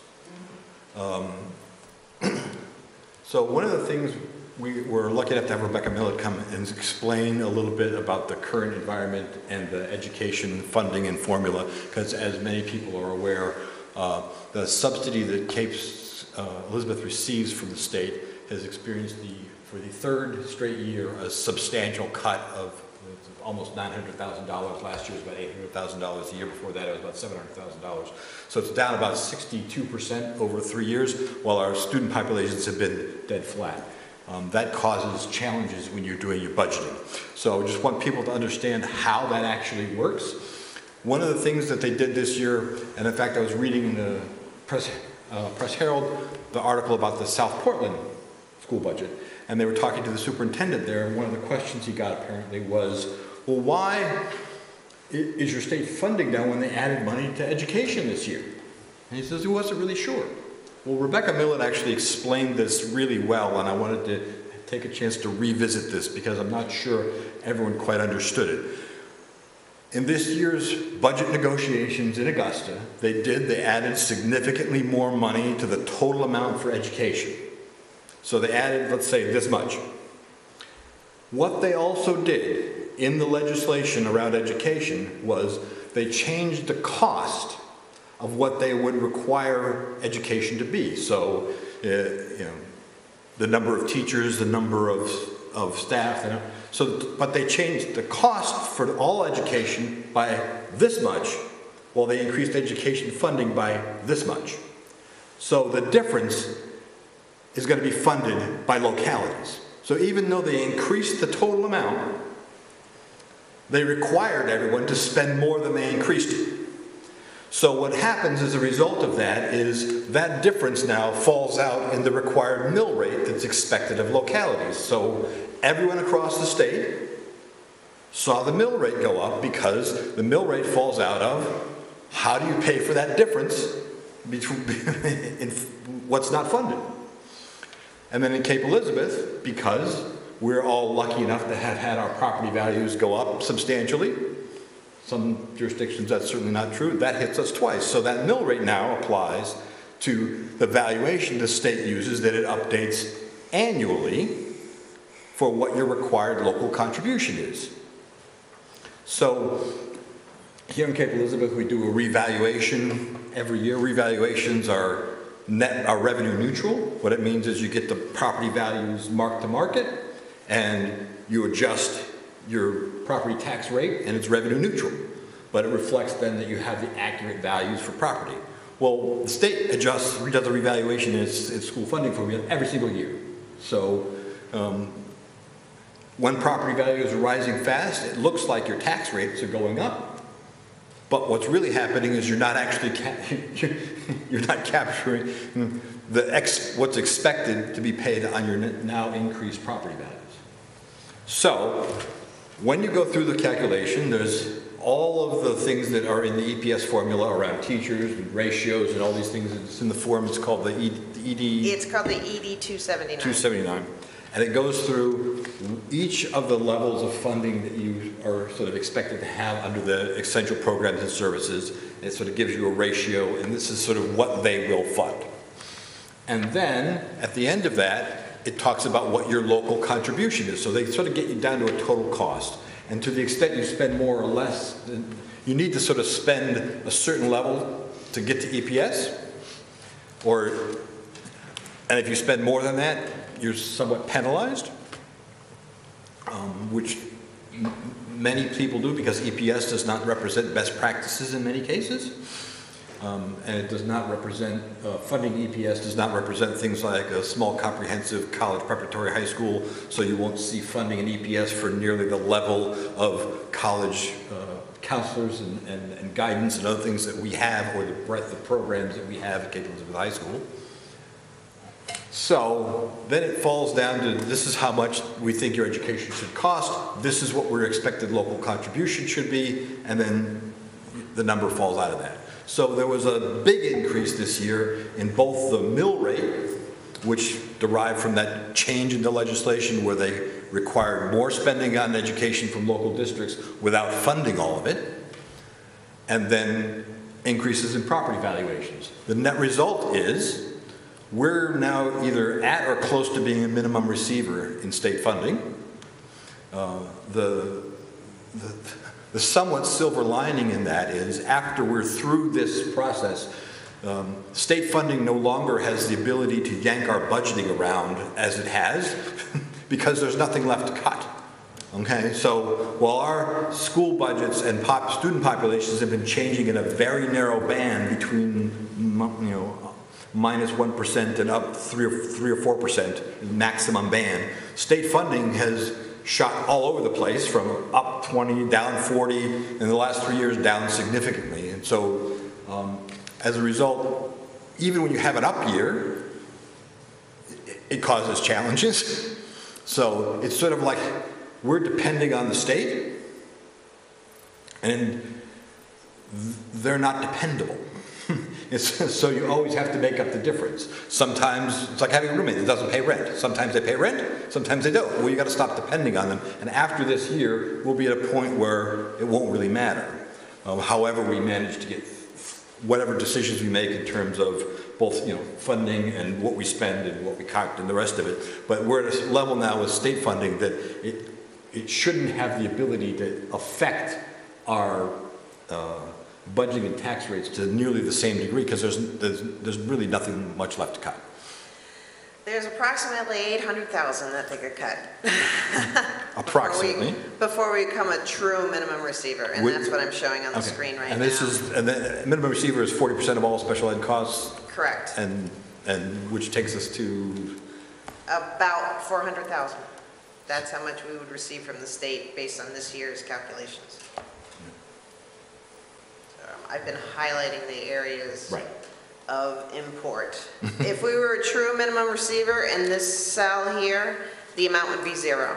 Um, We are still getting some money from the state, So- but because our, um, uh, our state share is less than 10%, which is one of the calculations they have, we are, the state is technically counting us as a minimum receiver, but we are not a true minimum receiver at this point. We could still lose funds.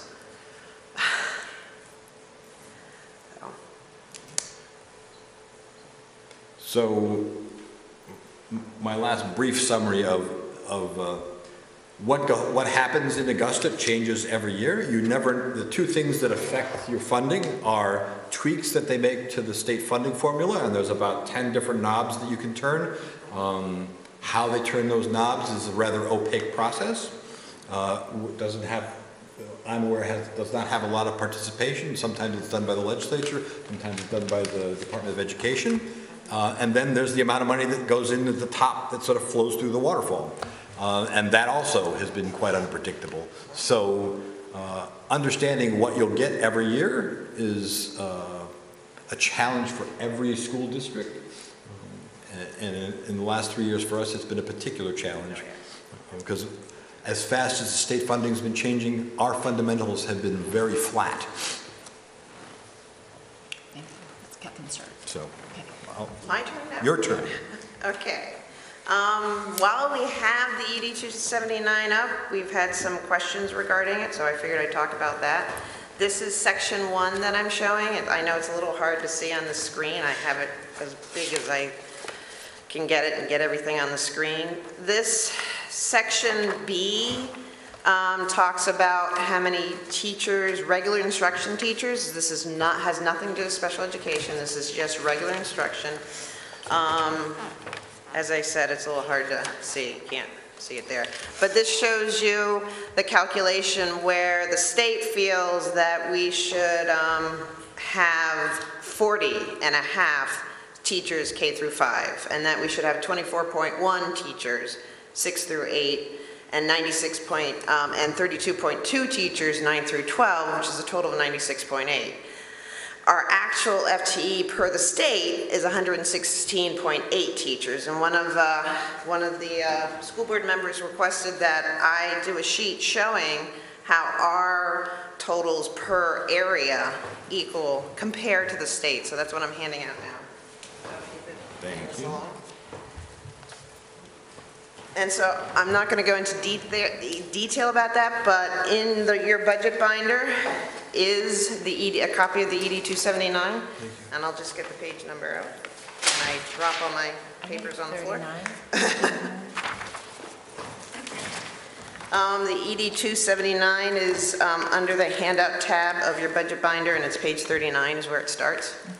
So in your free time, your homework is to compare what our teaching, teacher um, ratio is compared to what the ED 279 is. Um, Another question that we had was um, a request to clarify gifted and talented funding.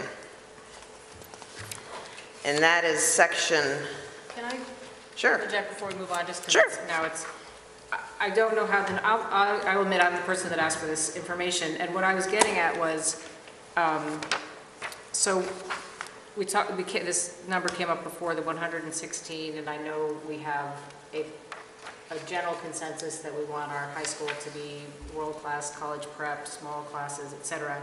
But what I was curious about was, we see that total number, but we don't see what's happening at Pond Cove or the middle school. So I want to make sure everyone's being represented equally. Um, And I wanted to, and I also asked for um, uh, average class size. We do data. have that also. So, and you don't need to see it right now, but what I wanted to bring to the board's attention and for discussion was, are, you know, how are we doing in reference to the class size policy for the Pond Cove and the middle school? And are we in line and make sure, because I think that's part of our, Yep. part of our job, right, to, to look at those. And I think they've, they've been part of the packages in the budget process in the past.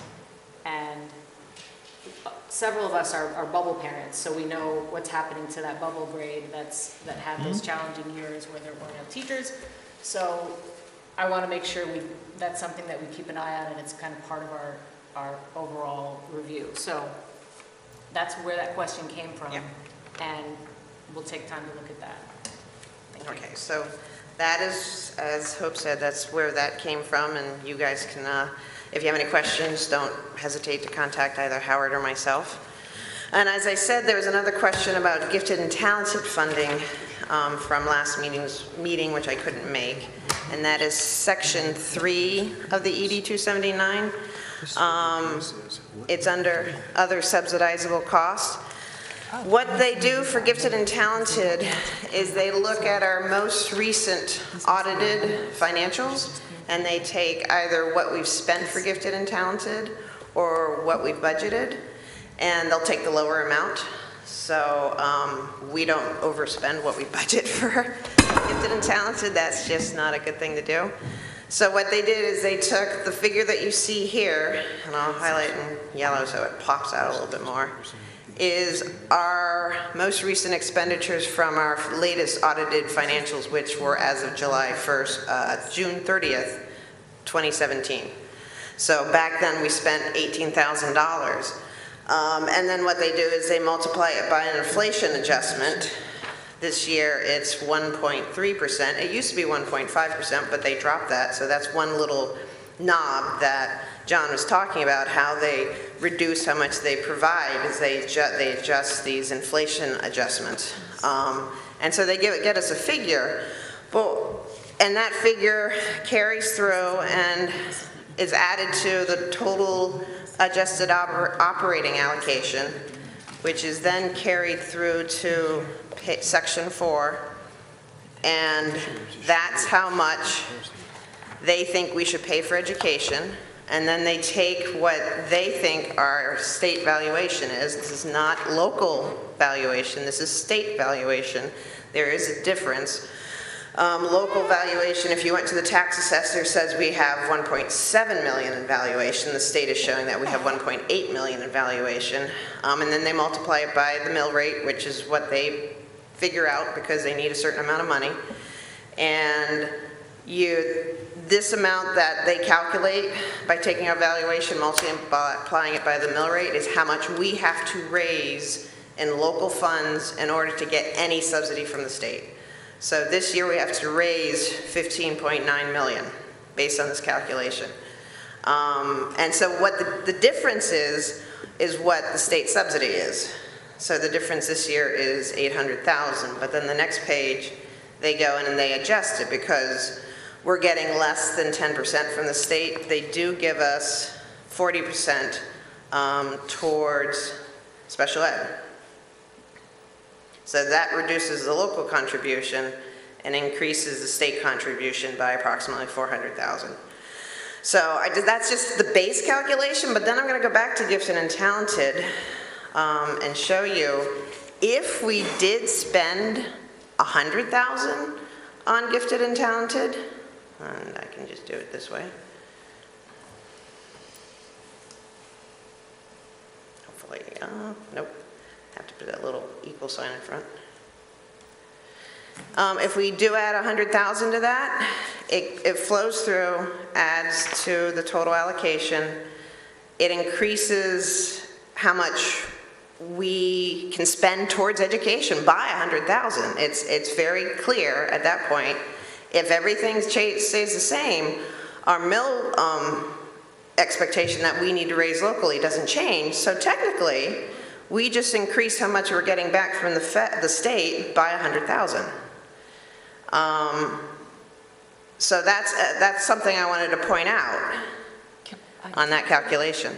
So then, if you go to the next sheet, it should flow through and show how that change, that in fact impacts our state, sh- our share. Right. It's not, the state share is not a function, it's not imposed on us, it's a result of how much we spend in relation to what the state is giving us. And it's, but it's only, We can change it.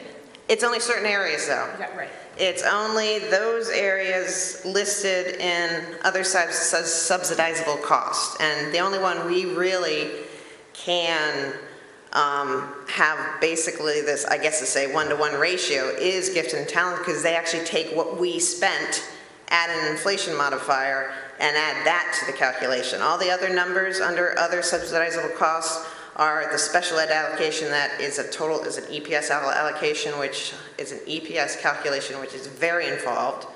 Um, They have recently added a special ed high-cost out-of-district allocation. Um, And then there's a transportation operating allocation, which is another EPS calculation. So the only thing that we really have direct um, control over is how much we spend for gifted and talented. All the other calculations that they use um, go through a very much more involved um, allocation, uh, calculation process. So this is one of the few areas that it actually works this way. Um, So that's, I wanted just to point that out, that in this situation. And another thing I want to warn people is it's two years before you get that money because they have to use, they go by your last audited report. I'm talking June 2017, is that where that figure comes? We're in the middle of 2018. We're not, next year, they'll be using 20 2018 figures, so there is a delay before you even see that subsidy. That was going to be my question, because there's no way that we have a full-time gifted and talented coordinator for That's not a current $18,000. yeah. It's not a current number, so No, this is just the, it's what we have to use. But I think it would be confusing for the public to understand that we actually do have, and it probably is closer to 100,000 probably, given that we have a full-time gifted and talented coordinator. But we won't receive those funds not for another year. for another year. But, um, but at least we're working towards it. So I just, that was a question that was brought up last meeting, and I wanted to talk about that part. That was me. Catherine, may I ask a question? Sure. This staffing you have here, is this our current staffing? Yes. So how do we know, for example, like let's just take um, world language, how, how how does that square with um, this EPS model? I mean, do- do, do- can we show where we're either below or above? We're above EPS on every level. But do we know how much, I mean, oh, I, I just, I mean, it might be nice sometimes to just be able to know, for example, just take classroom teachers, um, if, you know, how far we are above or below what they say. I mean, I I don't, I can do that pretty quickly Yeah. right here. well, I, don't- I, I just think for, Yeah. it might be nice to know the, the, the difference between what their model is and what we staff. Um, For pre-K through five, we do not have a pre-K program, but um, for K through five, they recommend 40.5 teachers. We have, and I have having to do a little addition in my head, we have 44.9 teachers, that's K through five. Six through eight, they, rec- the EPS recommends 24.1. Six through eight, we have 34.5. Um, And 9 through 12, they recommend 32.2 teachers, we have 41.5. Um, But we do have a very highly respected, um, very good school district. Oh, I understand that. I, I, I That's just me think it'd be nice to talking. show, it'd be nice to show the, the difference and be able to explain the difference. There's a, we ought to be able to say, I think, we have X number more teachers at, say, the high school, and here's what we get, here's what we're, we're offering, it's not even in that model. I just, it Right, seems the like, reason I, yeah, I was bringing it up more of a, I wanted to give Pond Cove and the middle school their fair focus on the, on the, you know, are we, are they getting the, the same, do they have the same classroom size? Are we within, within the classroom, class size policy? Um, and I, I have no reason to think that we weren't, but I think every season, every budget season, it should be something that we consider. right, but if we're comparing against the EPS, it'd be nice to see it com- showing up here and, the and the difference. I mean, I, I, I, I don't have it in front of me. Right, You right have next to You you. have to, yeah, it'd be nice to see them in the school. I same will column. add that. Thank you. Also, I don't know if I took your point correctly or not, Howard, but when you're talking about, for instance, world language in an elementary school, Right. there's hardly anybody else that is doing the wonderful work that, that Cape Elizabeth, uh, Pond Cove Elementary is doing with um, foreign language in the elementary school, which Right. That's, that's part of filtering up to, to why we have this outstanding. But it helps high explain the budget, if we can articulate. It it absolutely does, Right. absolutely. Can I make one more point, because this is, it- it's a good thing for us to be able to understand it. I think if everyone understands sort of how this table works, it, it's, it's not a, um, we're not going to look at this chart and say, we're going to make it in sync with the EPS formula because it's this magic thing. It doesn't apply that way, but I think if everyone's cognizant of how the, the levers work, then Right. when you're doing the budgeting and when we're talking about tough budget years, you know how do these decisions impact the end result here? So go down from the teacher, I, I love having this up here because we can finally like look at something visually. So if you go down from the teacher column, go down to say, um, uh, ed, ed techs. Ed techs, Okay? okay. So can you hi- hi- highlight that row so we can see I it? can highlight that row. Um, so we have seven, and it says we should have eight point eight. Because of that, the state is taking our expense and multiplying it by one point two six. So they're giving us a bump. They're saying, good for you, Cape, you're under budget, which is not, you know, not where we want to be. But so that's how the, that's how it, it impacts our total number that the state is saying we should be spending. And when we go over, the teachers, they're saying, oh, we're gonna ding you, you're gonna get 0.83 for whatever, what you're spending. Okay, so, I don't know why I feel like this is something we should all understand, and I would, I would just feel better if everyone in the district sort of had a basic understanding of this chart, because it, it should impact decisions at some level. So, uh, you can see where if we're way under, for example, library techs, we're making money on library techs. They're multiplying our cost by 6.4 because, and I'm saying we add library techs, but understand that that's how it's working. Does anyone, I mean, am I, do I sound like a crazy person? I'm just, You're enthusiastic. I just, I really, no, I- really, really want us to understand this. And So- then I can say, we, you know, we understand this and we're doing it, you know, we're, we're making informed decisions. So- So I think it's helpful exactly the road that you're going down, where you're looking at the percent of EPS, which is that they're saying, how close are you to the model that we fully fund? And then whether you're over or under, they make an adjustment accordingly. Oh, Column AC, Right. yeah. And um, also, as we've talked about, and just want to make clear, inherent in those ratios is uh, um, their opinion as to what makes a good education. Correct. To the extent you disagree, you will not match those figures. Of course. And so, but you want to make it with your eyes wide open, knowing how it's affecting the, the numbers.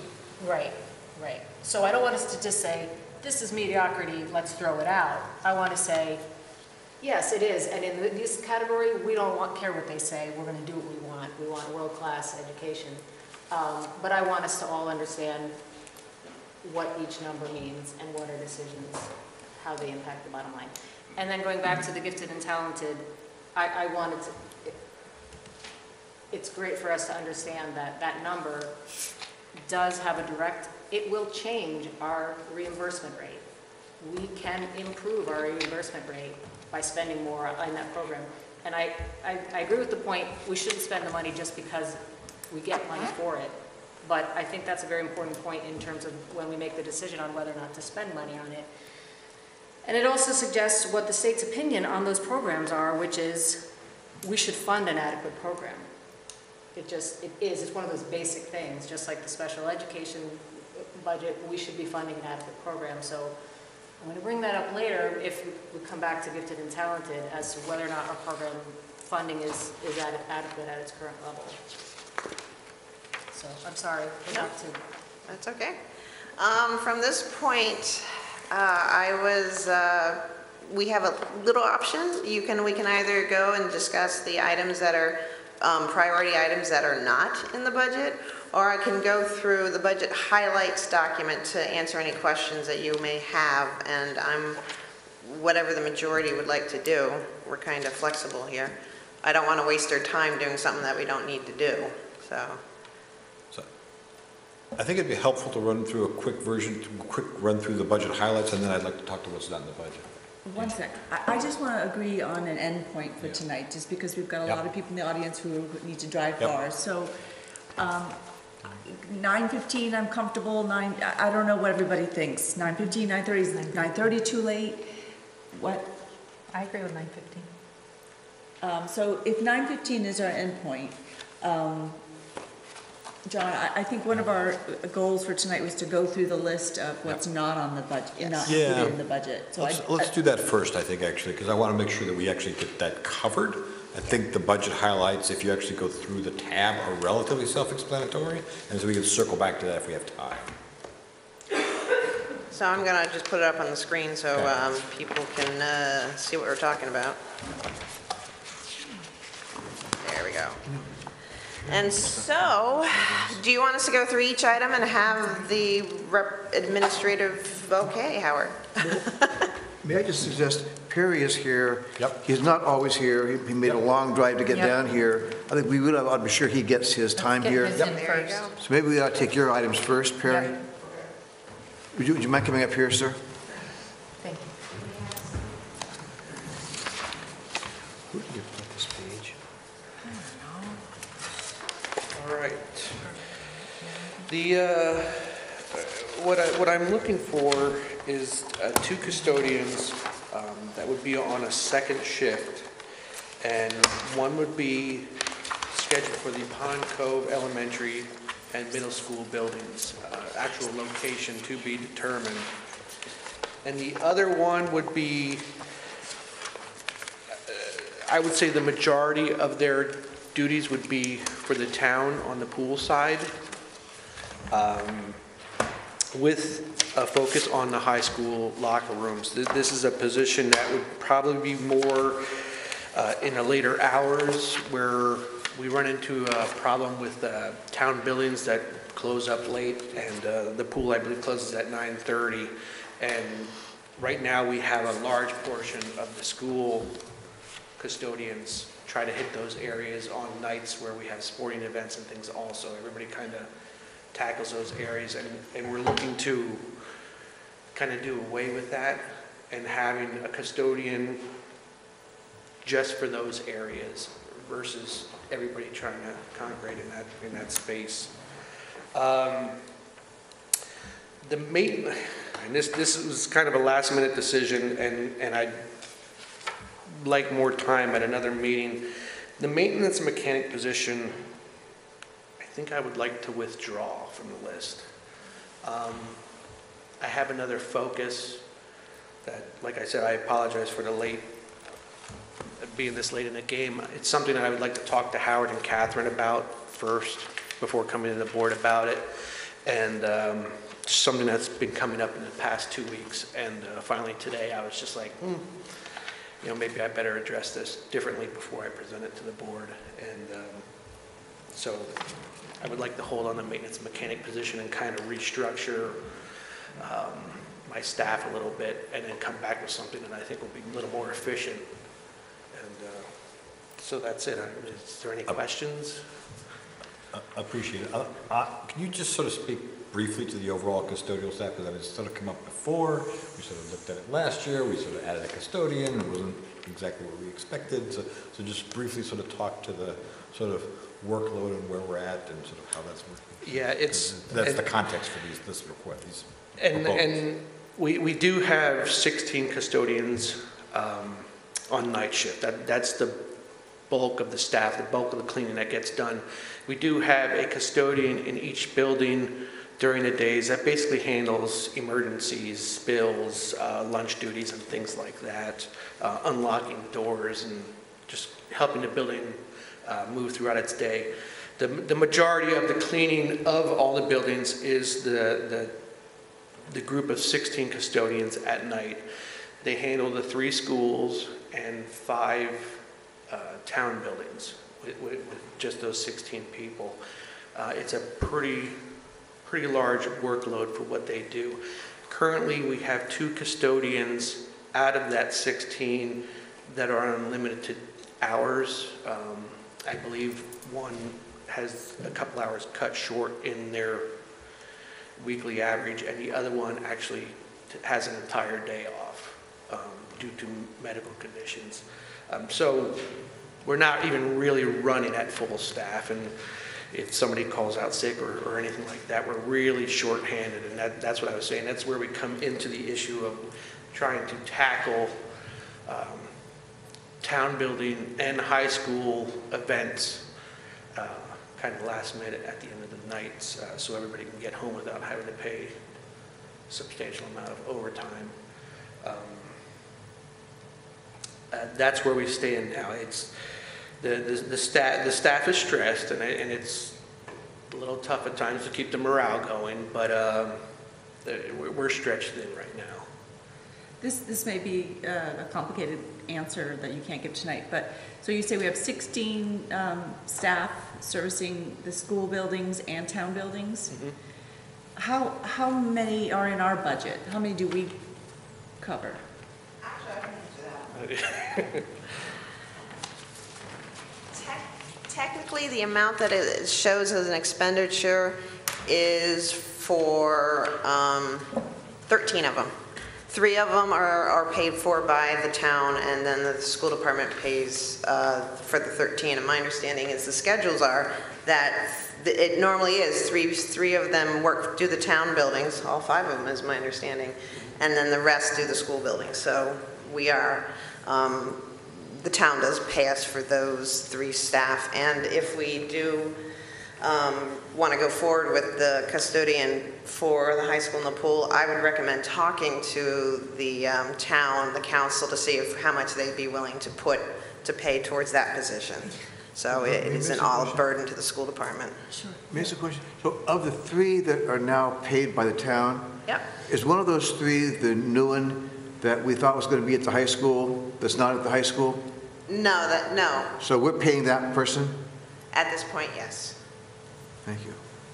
That, that was going to be my question, and this is not, um, I understand that we have different people in, in um, the director's position, but pulled out my budget binder from last year during the snow day, because I had to get away from my kids, and literally the exact same language was a a custodian to work on the, the um, locker room area, and it said the pool, and I went back and looked online, and I raised my hand last year and said, are we paying for someone to, to clean the pool? And the person at the time said, no, this is for the high school, and I scratched it out in my budget binder and wrote the date down, and that is not what happened. And so I guess I just want to, I agree that if, also, how weird is it that you're asking us if you can hire a custodian for the pool? There's A. And then, because really, I feel like the, the town should know and approve of that expenditure, since it really shouldn't be coming out of our budget, not once, but twice. And I'd love to know how we might address or fix or work with the, the, the custodian that we did hire that was allegedly for the high school. And, and I know this is a, it's a, it's a ball of Christmas lights Yeah. to try to untangle. I get that. Yeah, both Perry and I don't want to go through what happened last year, so that's why we're trying to be transparent up front, and that's why we're suggesting that, or um, that we do talk to the town about um, having them pay for their equivalent portion for any high school pool custodians that are there. Their, the- their total number is calculated, calculated through the school budget, but the town pays us for the certain number of staff. But I would think they would want to know if they're going to incur. Yes, yes. I'd also like to just say that this, again, underscores, I think, the problem with joint services, like trying to save costs between town and school. And I would, you know, love to see what's, what's the number of custodians we need to cover our school dist, our school buildings? And then have that number and have that not be um, diluted by town buildings. And then any additional ones be added by the town. Um, I- it, because in order to track how sufficient the number is, you need to know on a regular basis that they're just sticking to school buildings. Otherwise, if some years they're doing school buildings, some doing, some years t- town stuff, you can't really track, you know, is this the right number or not? And, and I could get you that information. Um, That wouldn't be too hard to, to figure out at all. I don't have it. Yeah, I don't know how much I, I need, I just, I just, I mean, pointing something out, a, a, I think a, a problem in the system. Yes. And maybe there's a way for you to do a tracking system for yourself. It doesn't necessarily have to be like a time card, but just a, just just figuring out how much time people are spending in any one building. Right. So, so if I, if I recall some of the discussion, it, it's unfortunately uh, not as clean as we would like it because there are some school events and some town events that are essentially all hands on deck custodian wise. And so there's some, always going to be some blending and that's to both the town and the school's advantage.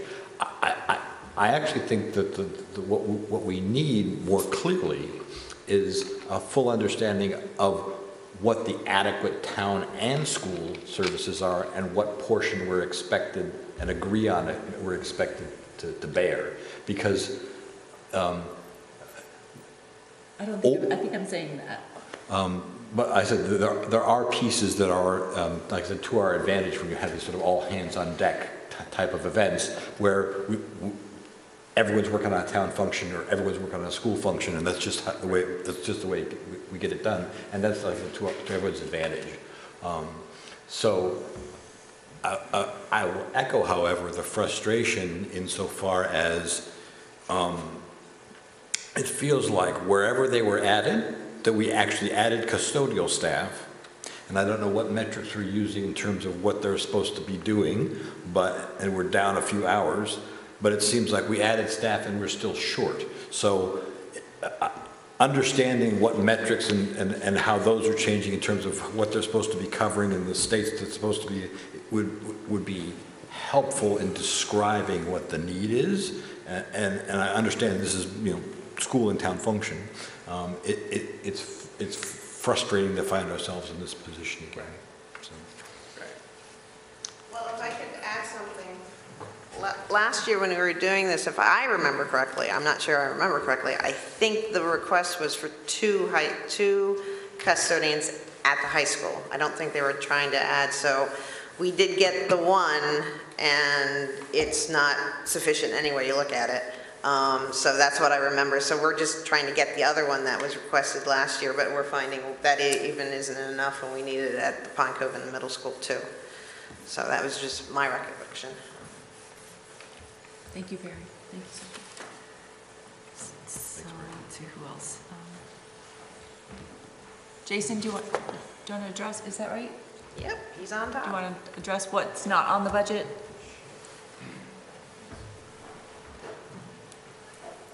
That's- That's the lunch recess aids, is that right? Yeah. Oh, and Learning the- strategist. And the learning strategist.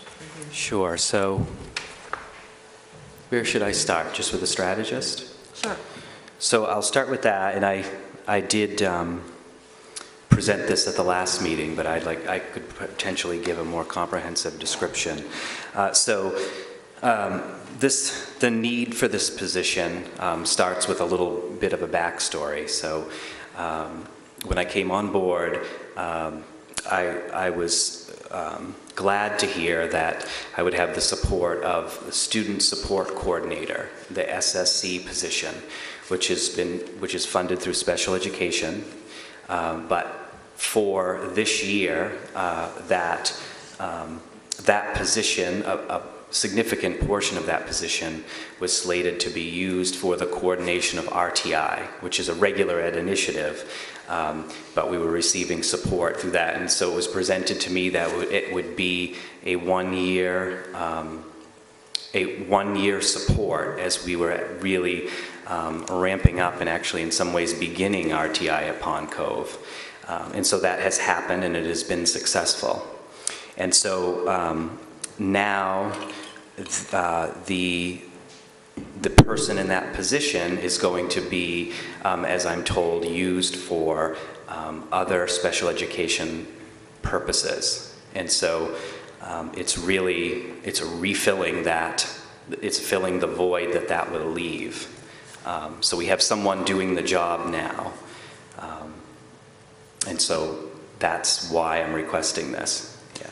So, so when you, you say it's been successful, can you give us some character and flavor to that so that we understand what we're, what we may be losing out on here? Sure. So what, what that person, in terms of RTI, what that person does is um, runs uh, our student support team, uh, which is um, a structure that we have um, where um, teachers bring um, case cases of students that they're struggling with, and there are teams of, of professionals that support them and give them advice and, and possibly observe in the classroom, that type of thing. So that person is doing that. That person provides coordination and support over the RTI ed techs. That's another part of it, as uh, um, including the techs creates that need for that kind of structure and coordination to provide services. Um, so this individual is um, you know, supporting those techs, helping, helping them um, interpret data, decide on focus for instruction, cre helping create schedules for them.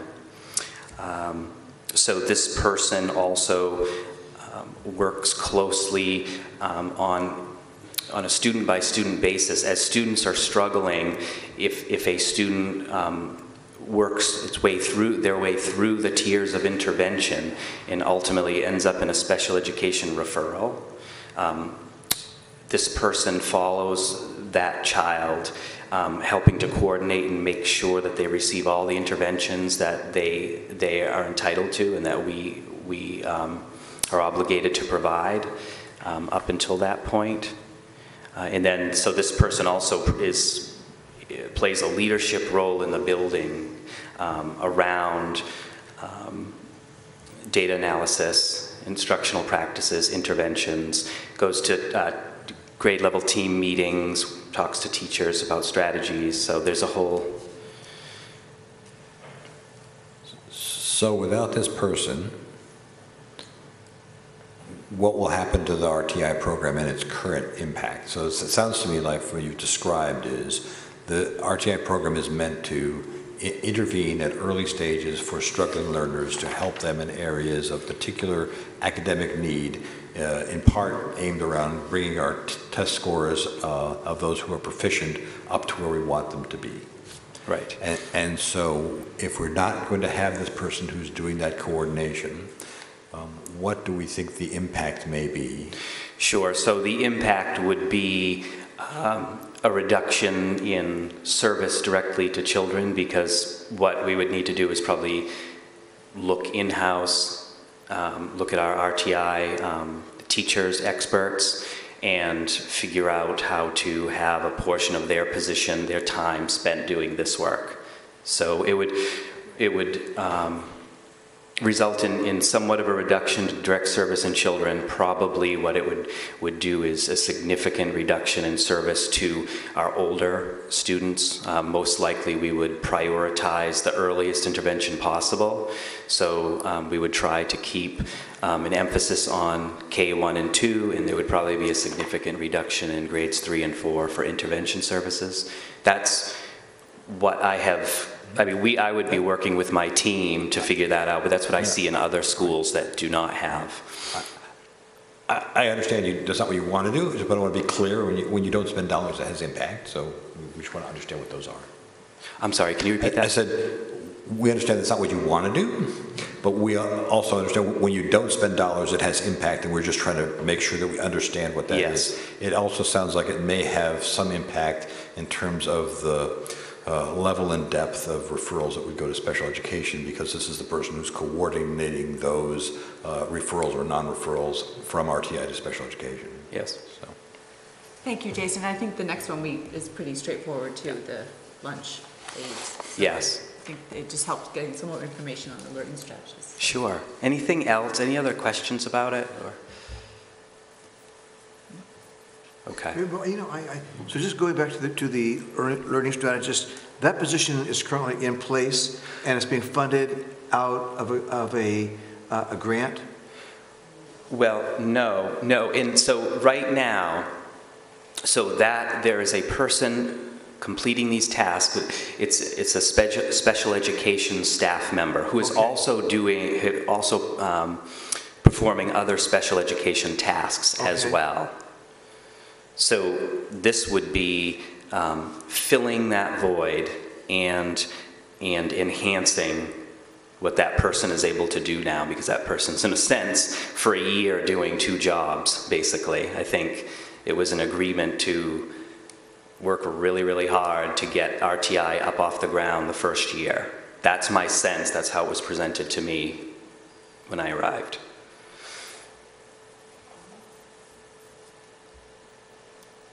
Okay? Thank you. Yes, yes. Thank you. So, um, John, we've got two minutes. I'm wondering if we hit the pause.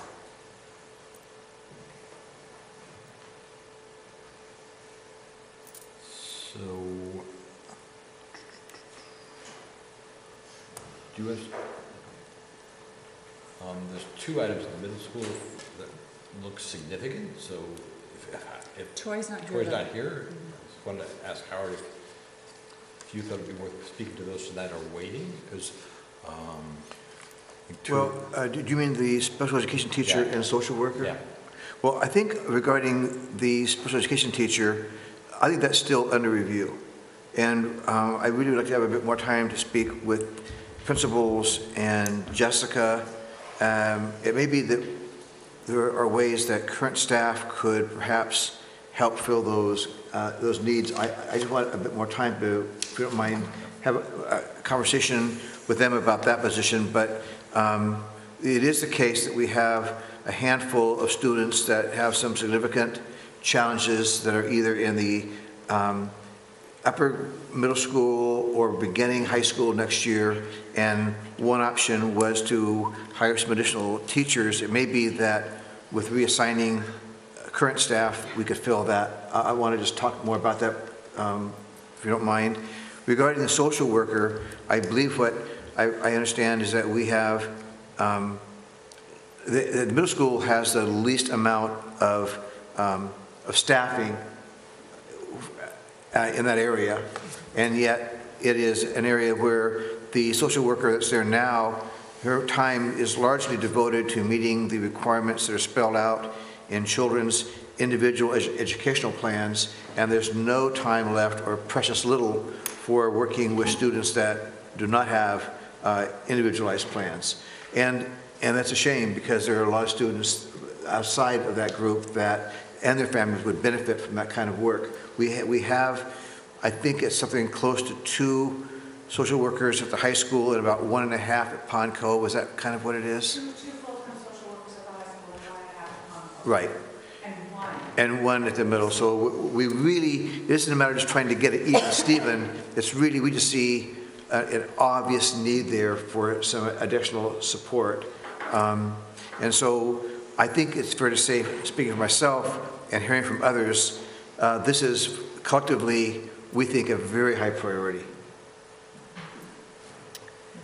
May I speak to that as well? And I'd like to just reiterate, it's the middle school, which is highly important to have support for those kids growing and evolving at those age, which are such a tricky age where we only have one Right. social worker. So, and they all need it, but I think the middle school, they can get lost Yep. quickly.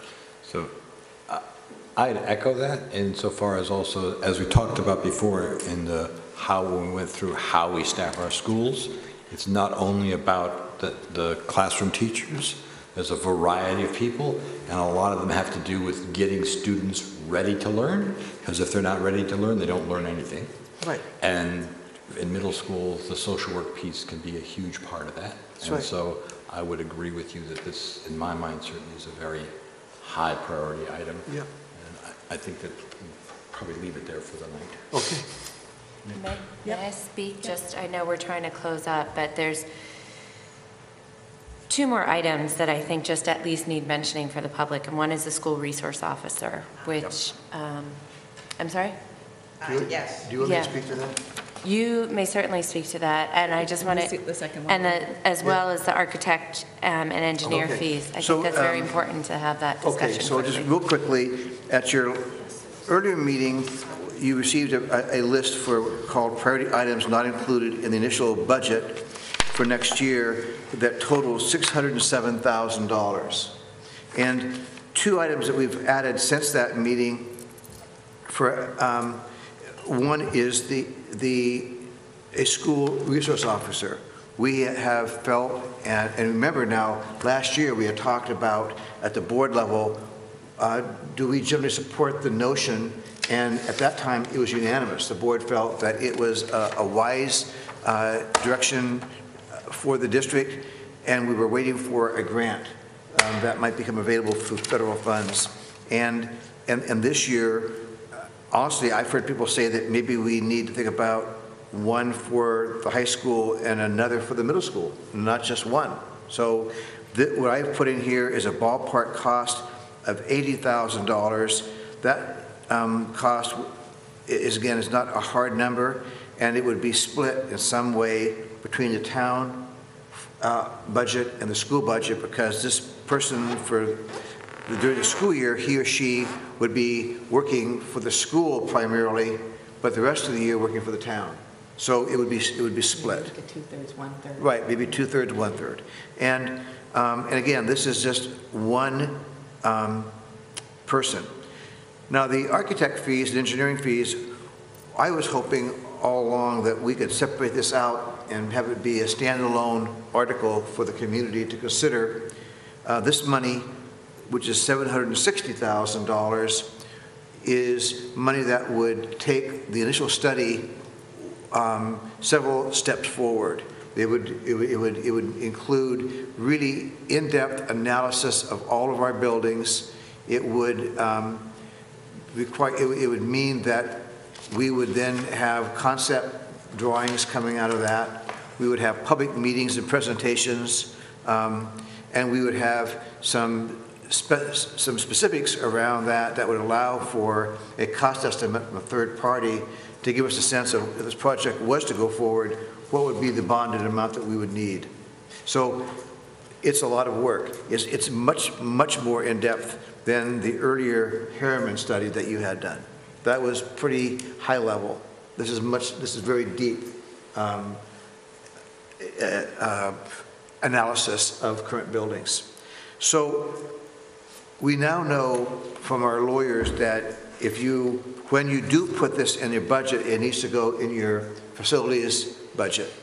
And when you add that figure to this list, you've gone from, again, 607,000 round dollars now to 1,400 and basically 50,000. It's a, it's a significant jump. But um, there needs to be, over the next month, a, a real analysis of this and perhaps a discussion with the town council about what we can support and and what it means. Um, For, yes, I'll leave it at that. Um, Thank you, Howard, for those explanations. Uh, Returning back to the school offi- resource officer, uh, I would just like to put another sort of comment and idea wrapped around it, that it's more than just an officer in a building. Um, I have um, somebody in the community that I'm friendly with who is a principal in another district, and they've had one for many, many years, and say that, uh, that uh, SRO is like another administrator. They connect with the students. They fill certain needs that are super important. Um, and I'm just putting this out there, but if the, if it's the will of the board, I would be happy, and he has offered to come next budget meeting and speak on behalf of the benefits. He just raves very highly about it, um, and I'd be happy to invite him if the board would like that. So in a similar vein, um, I'm friendly with the school resource officer for Falmouth, and he has offered to come and speak as well and talk about how the emphasis is on resource and not officer. Yeah. And, and, and just talk about the relationship building and, and what he brings to the district and to the students and to the teachers, so. I think it could be very educational to understand what that role means, you know, I, I mean, it's a unique role, and to understand the components of it, and that it's not just an officer, like what you said, I which would- may be a misnomer. I would greatly encourage that. I think the information is relevant, and I think that it puts us in the, in the, in the right context with now, as we sit here, with heightened security concerns. Part of what the, the rational response to that is doing things that are sensible and also build community. Um, because I think in the long run, the, the, you know, it- it- the, um, that's what makes us strongest, as, and we have, and the resource officer has a nice blend of that, and I'd be interested to be educated further about how that functions, because it's another set of eyes and ears and persons who, people who know people and know what's going on in your school that have the ability to catch things that are important before they head in the wrong direction. I- if I'm right, Jeff said you are not here next Tuesday night, correct? Right, and, and so if we're going to continue down this list, and one of them is this item about the literacy, French, and French, spe- do we, I can do it in two minutes. I'm, I'm Great. okay. Okay. Go- That'd be great if you don't mind, yeah. Thank you for realizing that. Thank you, because I just was A lot to go. Yeah. Um, So th- there are, the the world language position, which is a part-time position that I'm looking for, is the one that, um, if we don't get it, I'm quite confident, based on the bubble that we have in eighth grade right now, that we will not be able to, for next year, for the second year in a row, to offer either French one or Spanish one. Um, So that's that. In a nutshell, that's the impact on kids. Um, The literacy teacher position, which is also a part-time position, I think of these as potentially combined. I don't want to bore you now with why I think it, it makes sense to look at these together. Um, The literacy, part-time literacy teacher position would give, for the first time in several years, a regular ed person who has some expertise in literacy, which we have not had for several years, and we definitely have needs. And this is the position that in iterations of the budget last year that I gave up this position and, and, and decided I wasn't going to fight for this because I wanted to get the custodian in the gym and the locker room, which I thought I got, and then I didn't. Um, and then the computer technology person, right now, this year, it's a growing interest of students. We are offering a program. Carolyn Young, who's our librarian, and Ginger Raspiller, our technology integrator, have gotten it off the ground, but it means they are taking time away from Carolyn's job as librarian and Ginger's as, as, as technology integrator, and I'd like to get a part-time. That actually could be done with a point four. Point six would allow for some expansion. Point four would simply allow us to keep where we are now, but allow somebody other than Ginger and Carolyn to teach that, those courses. Thank you. Thank, you. thank you.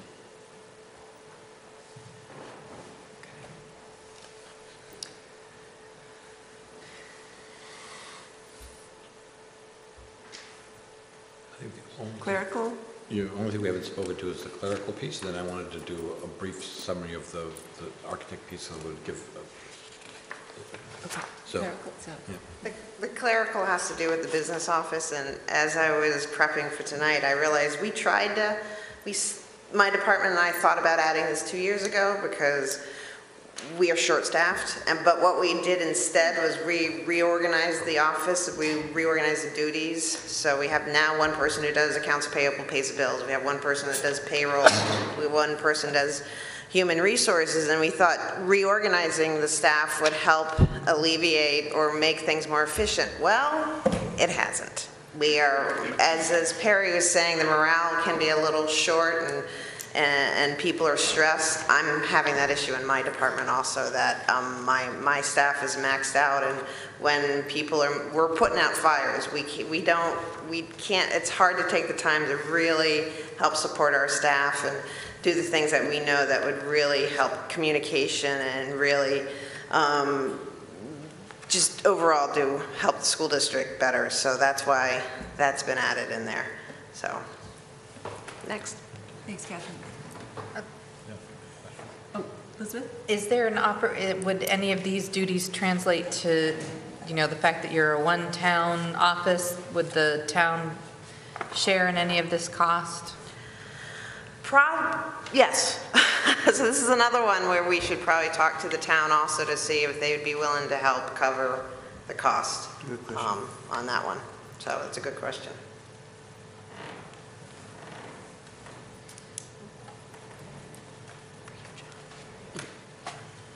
You can wrap it up?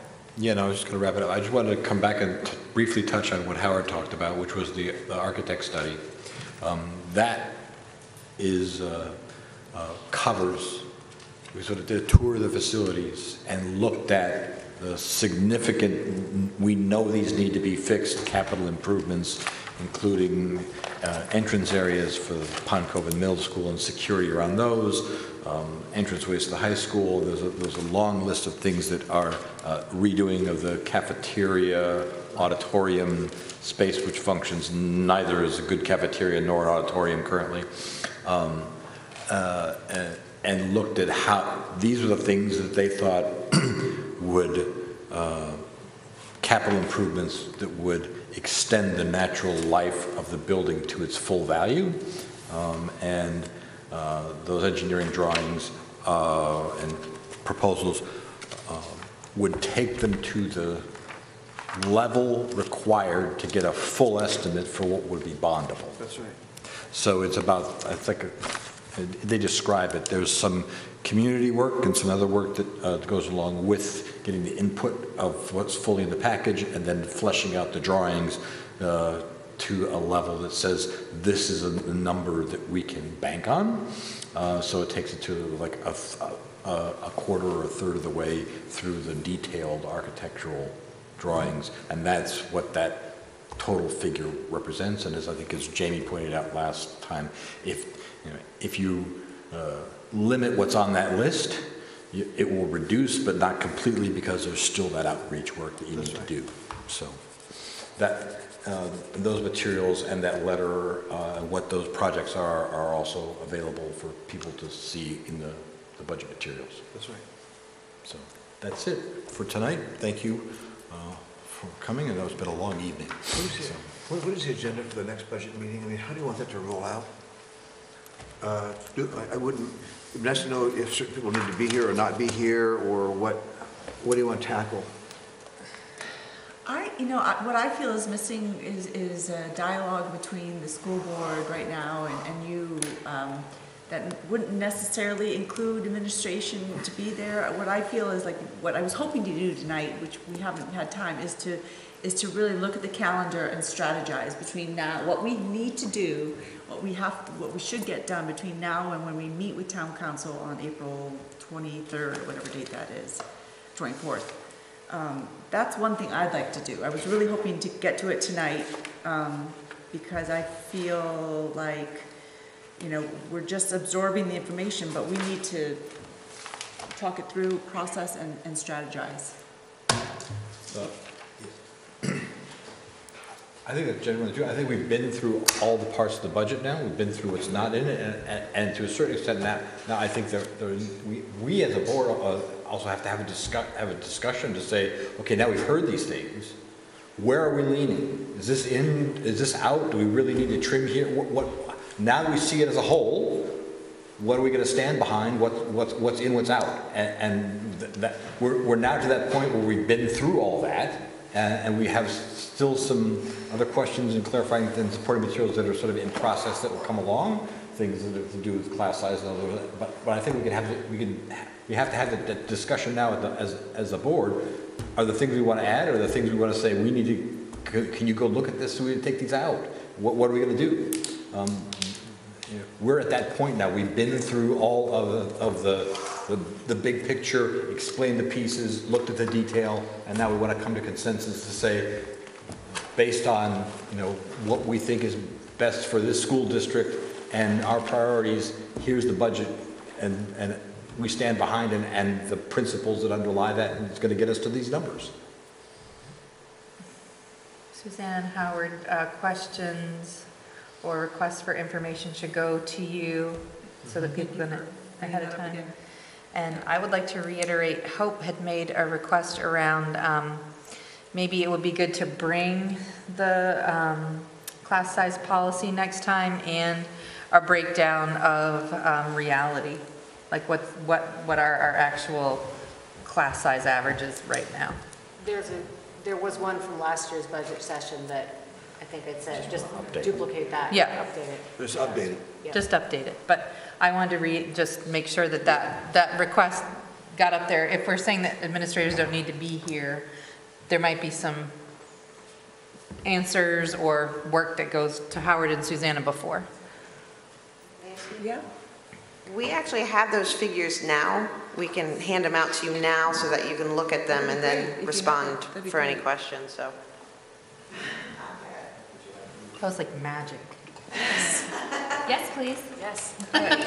So, high schools. so we're meeting in a few days, which is good. um, on the 20th. And a- anybody who wants to come, feel free, don't feel like you have to, because I think we're going to start just talking amongst yourselves, so it's up to you. This, these, this is Pond Cove and Middle The School. later it gets, But the then sharper Troy it gets. also put the same data in an Real tired. explanation of something and change, so you probably want both. So one of each? Yes, does that sound good? I mean, I can, I don't know if you want, I think there's 20. Town com meeting goes to 11. We don't even Yeah, so. So this is somewhat duplicative. It is, except he put like an explanation on it. Okay. Oh. On your, on your uh, town. that's a good question. Yeah, but still. Is this, uh, Jason, is this for the whole school district, the whole district? So this is It's high just high school. school. It looks like just high school, but it doesn't say on it. So let's label it.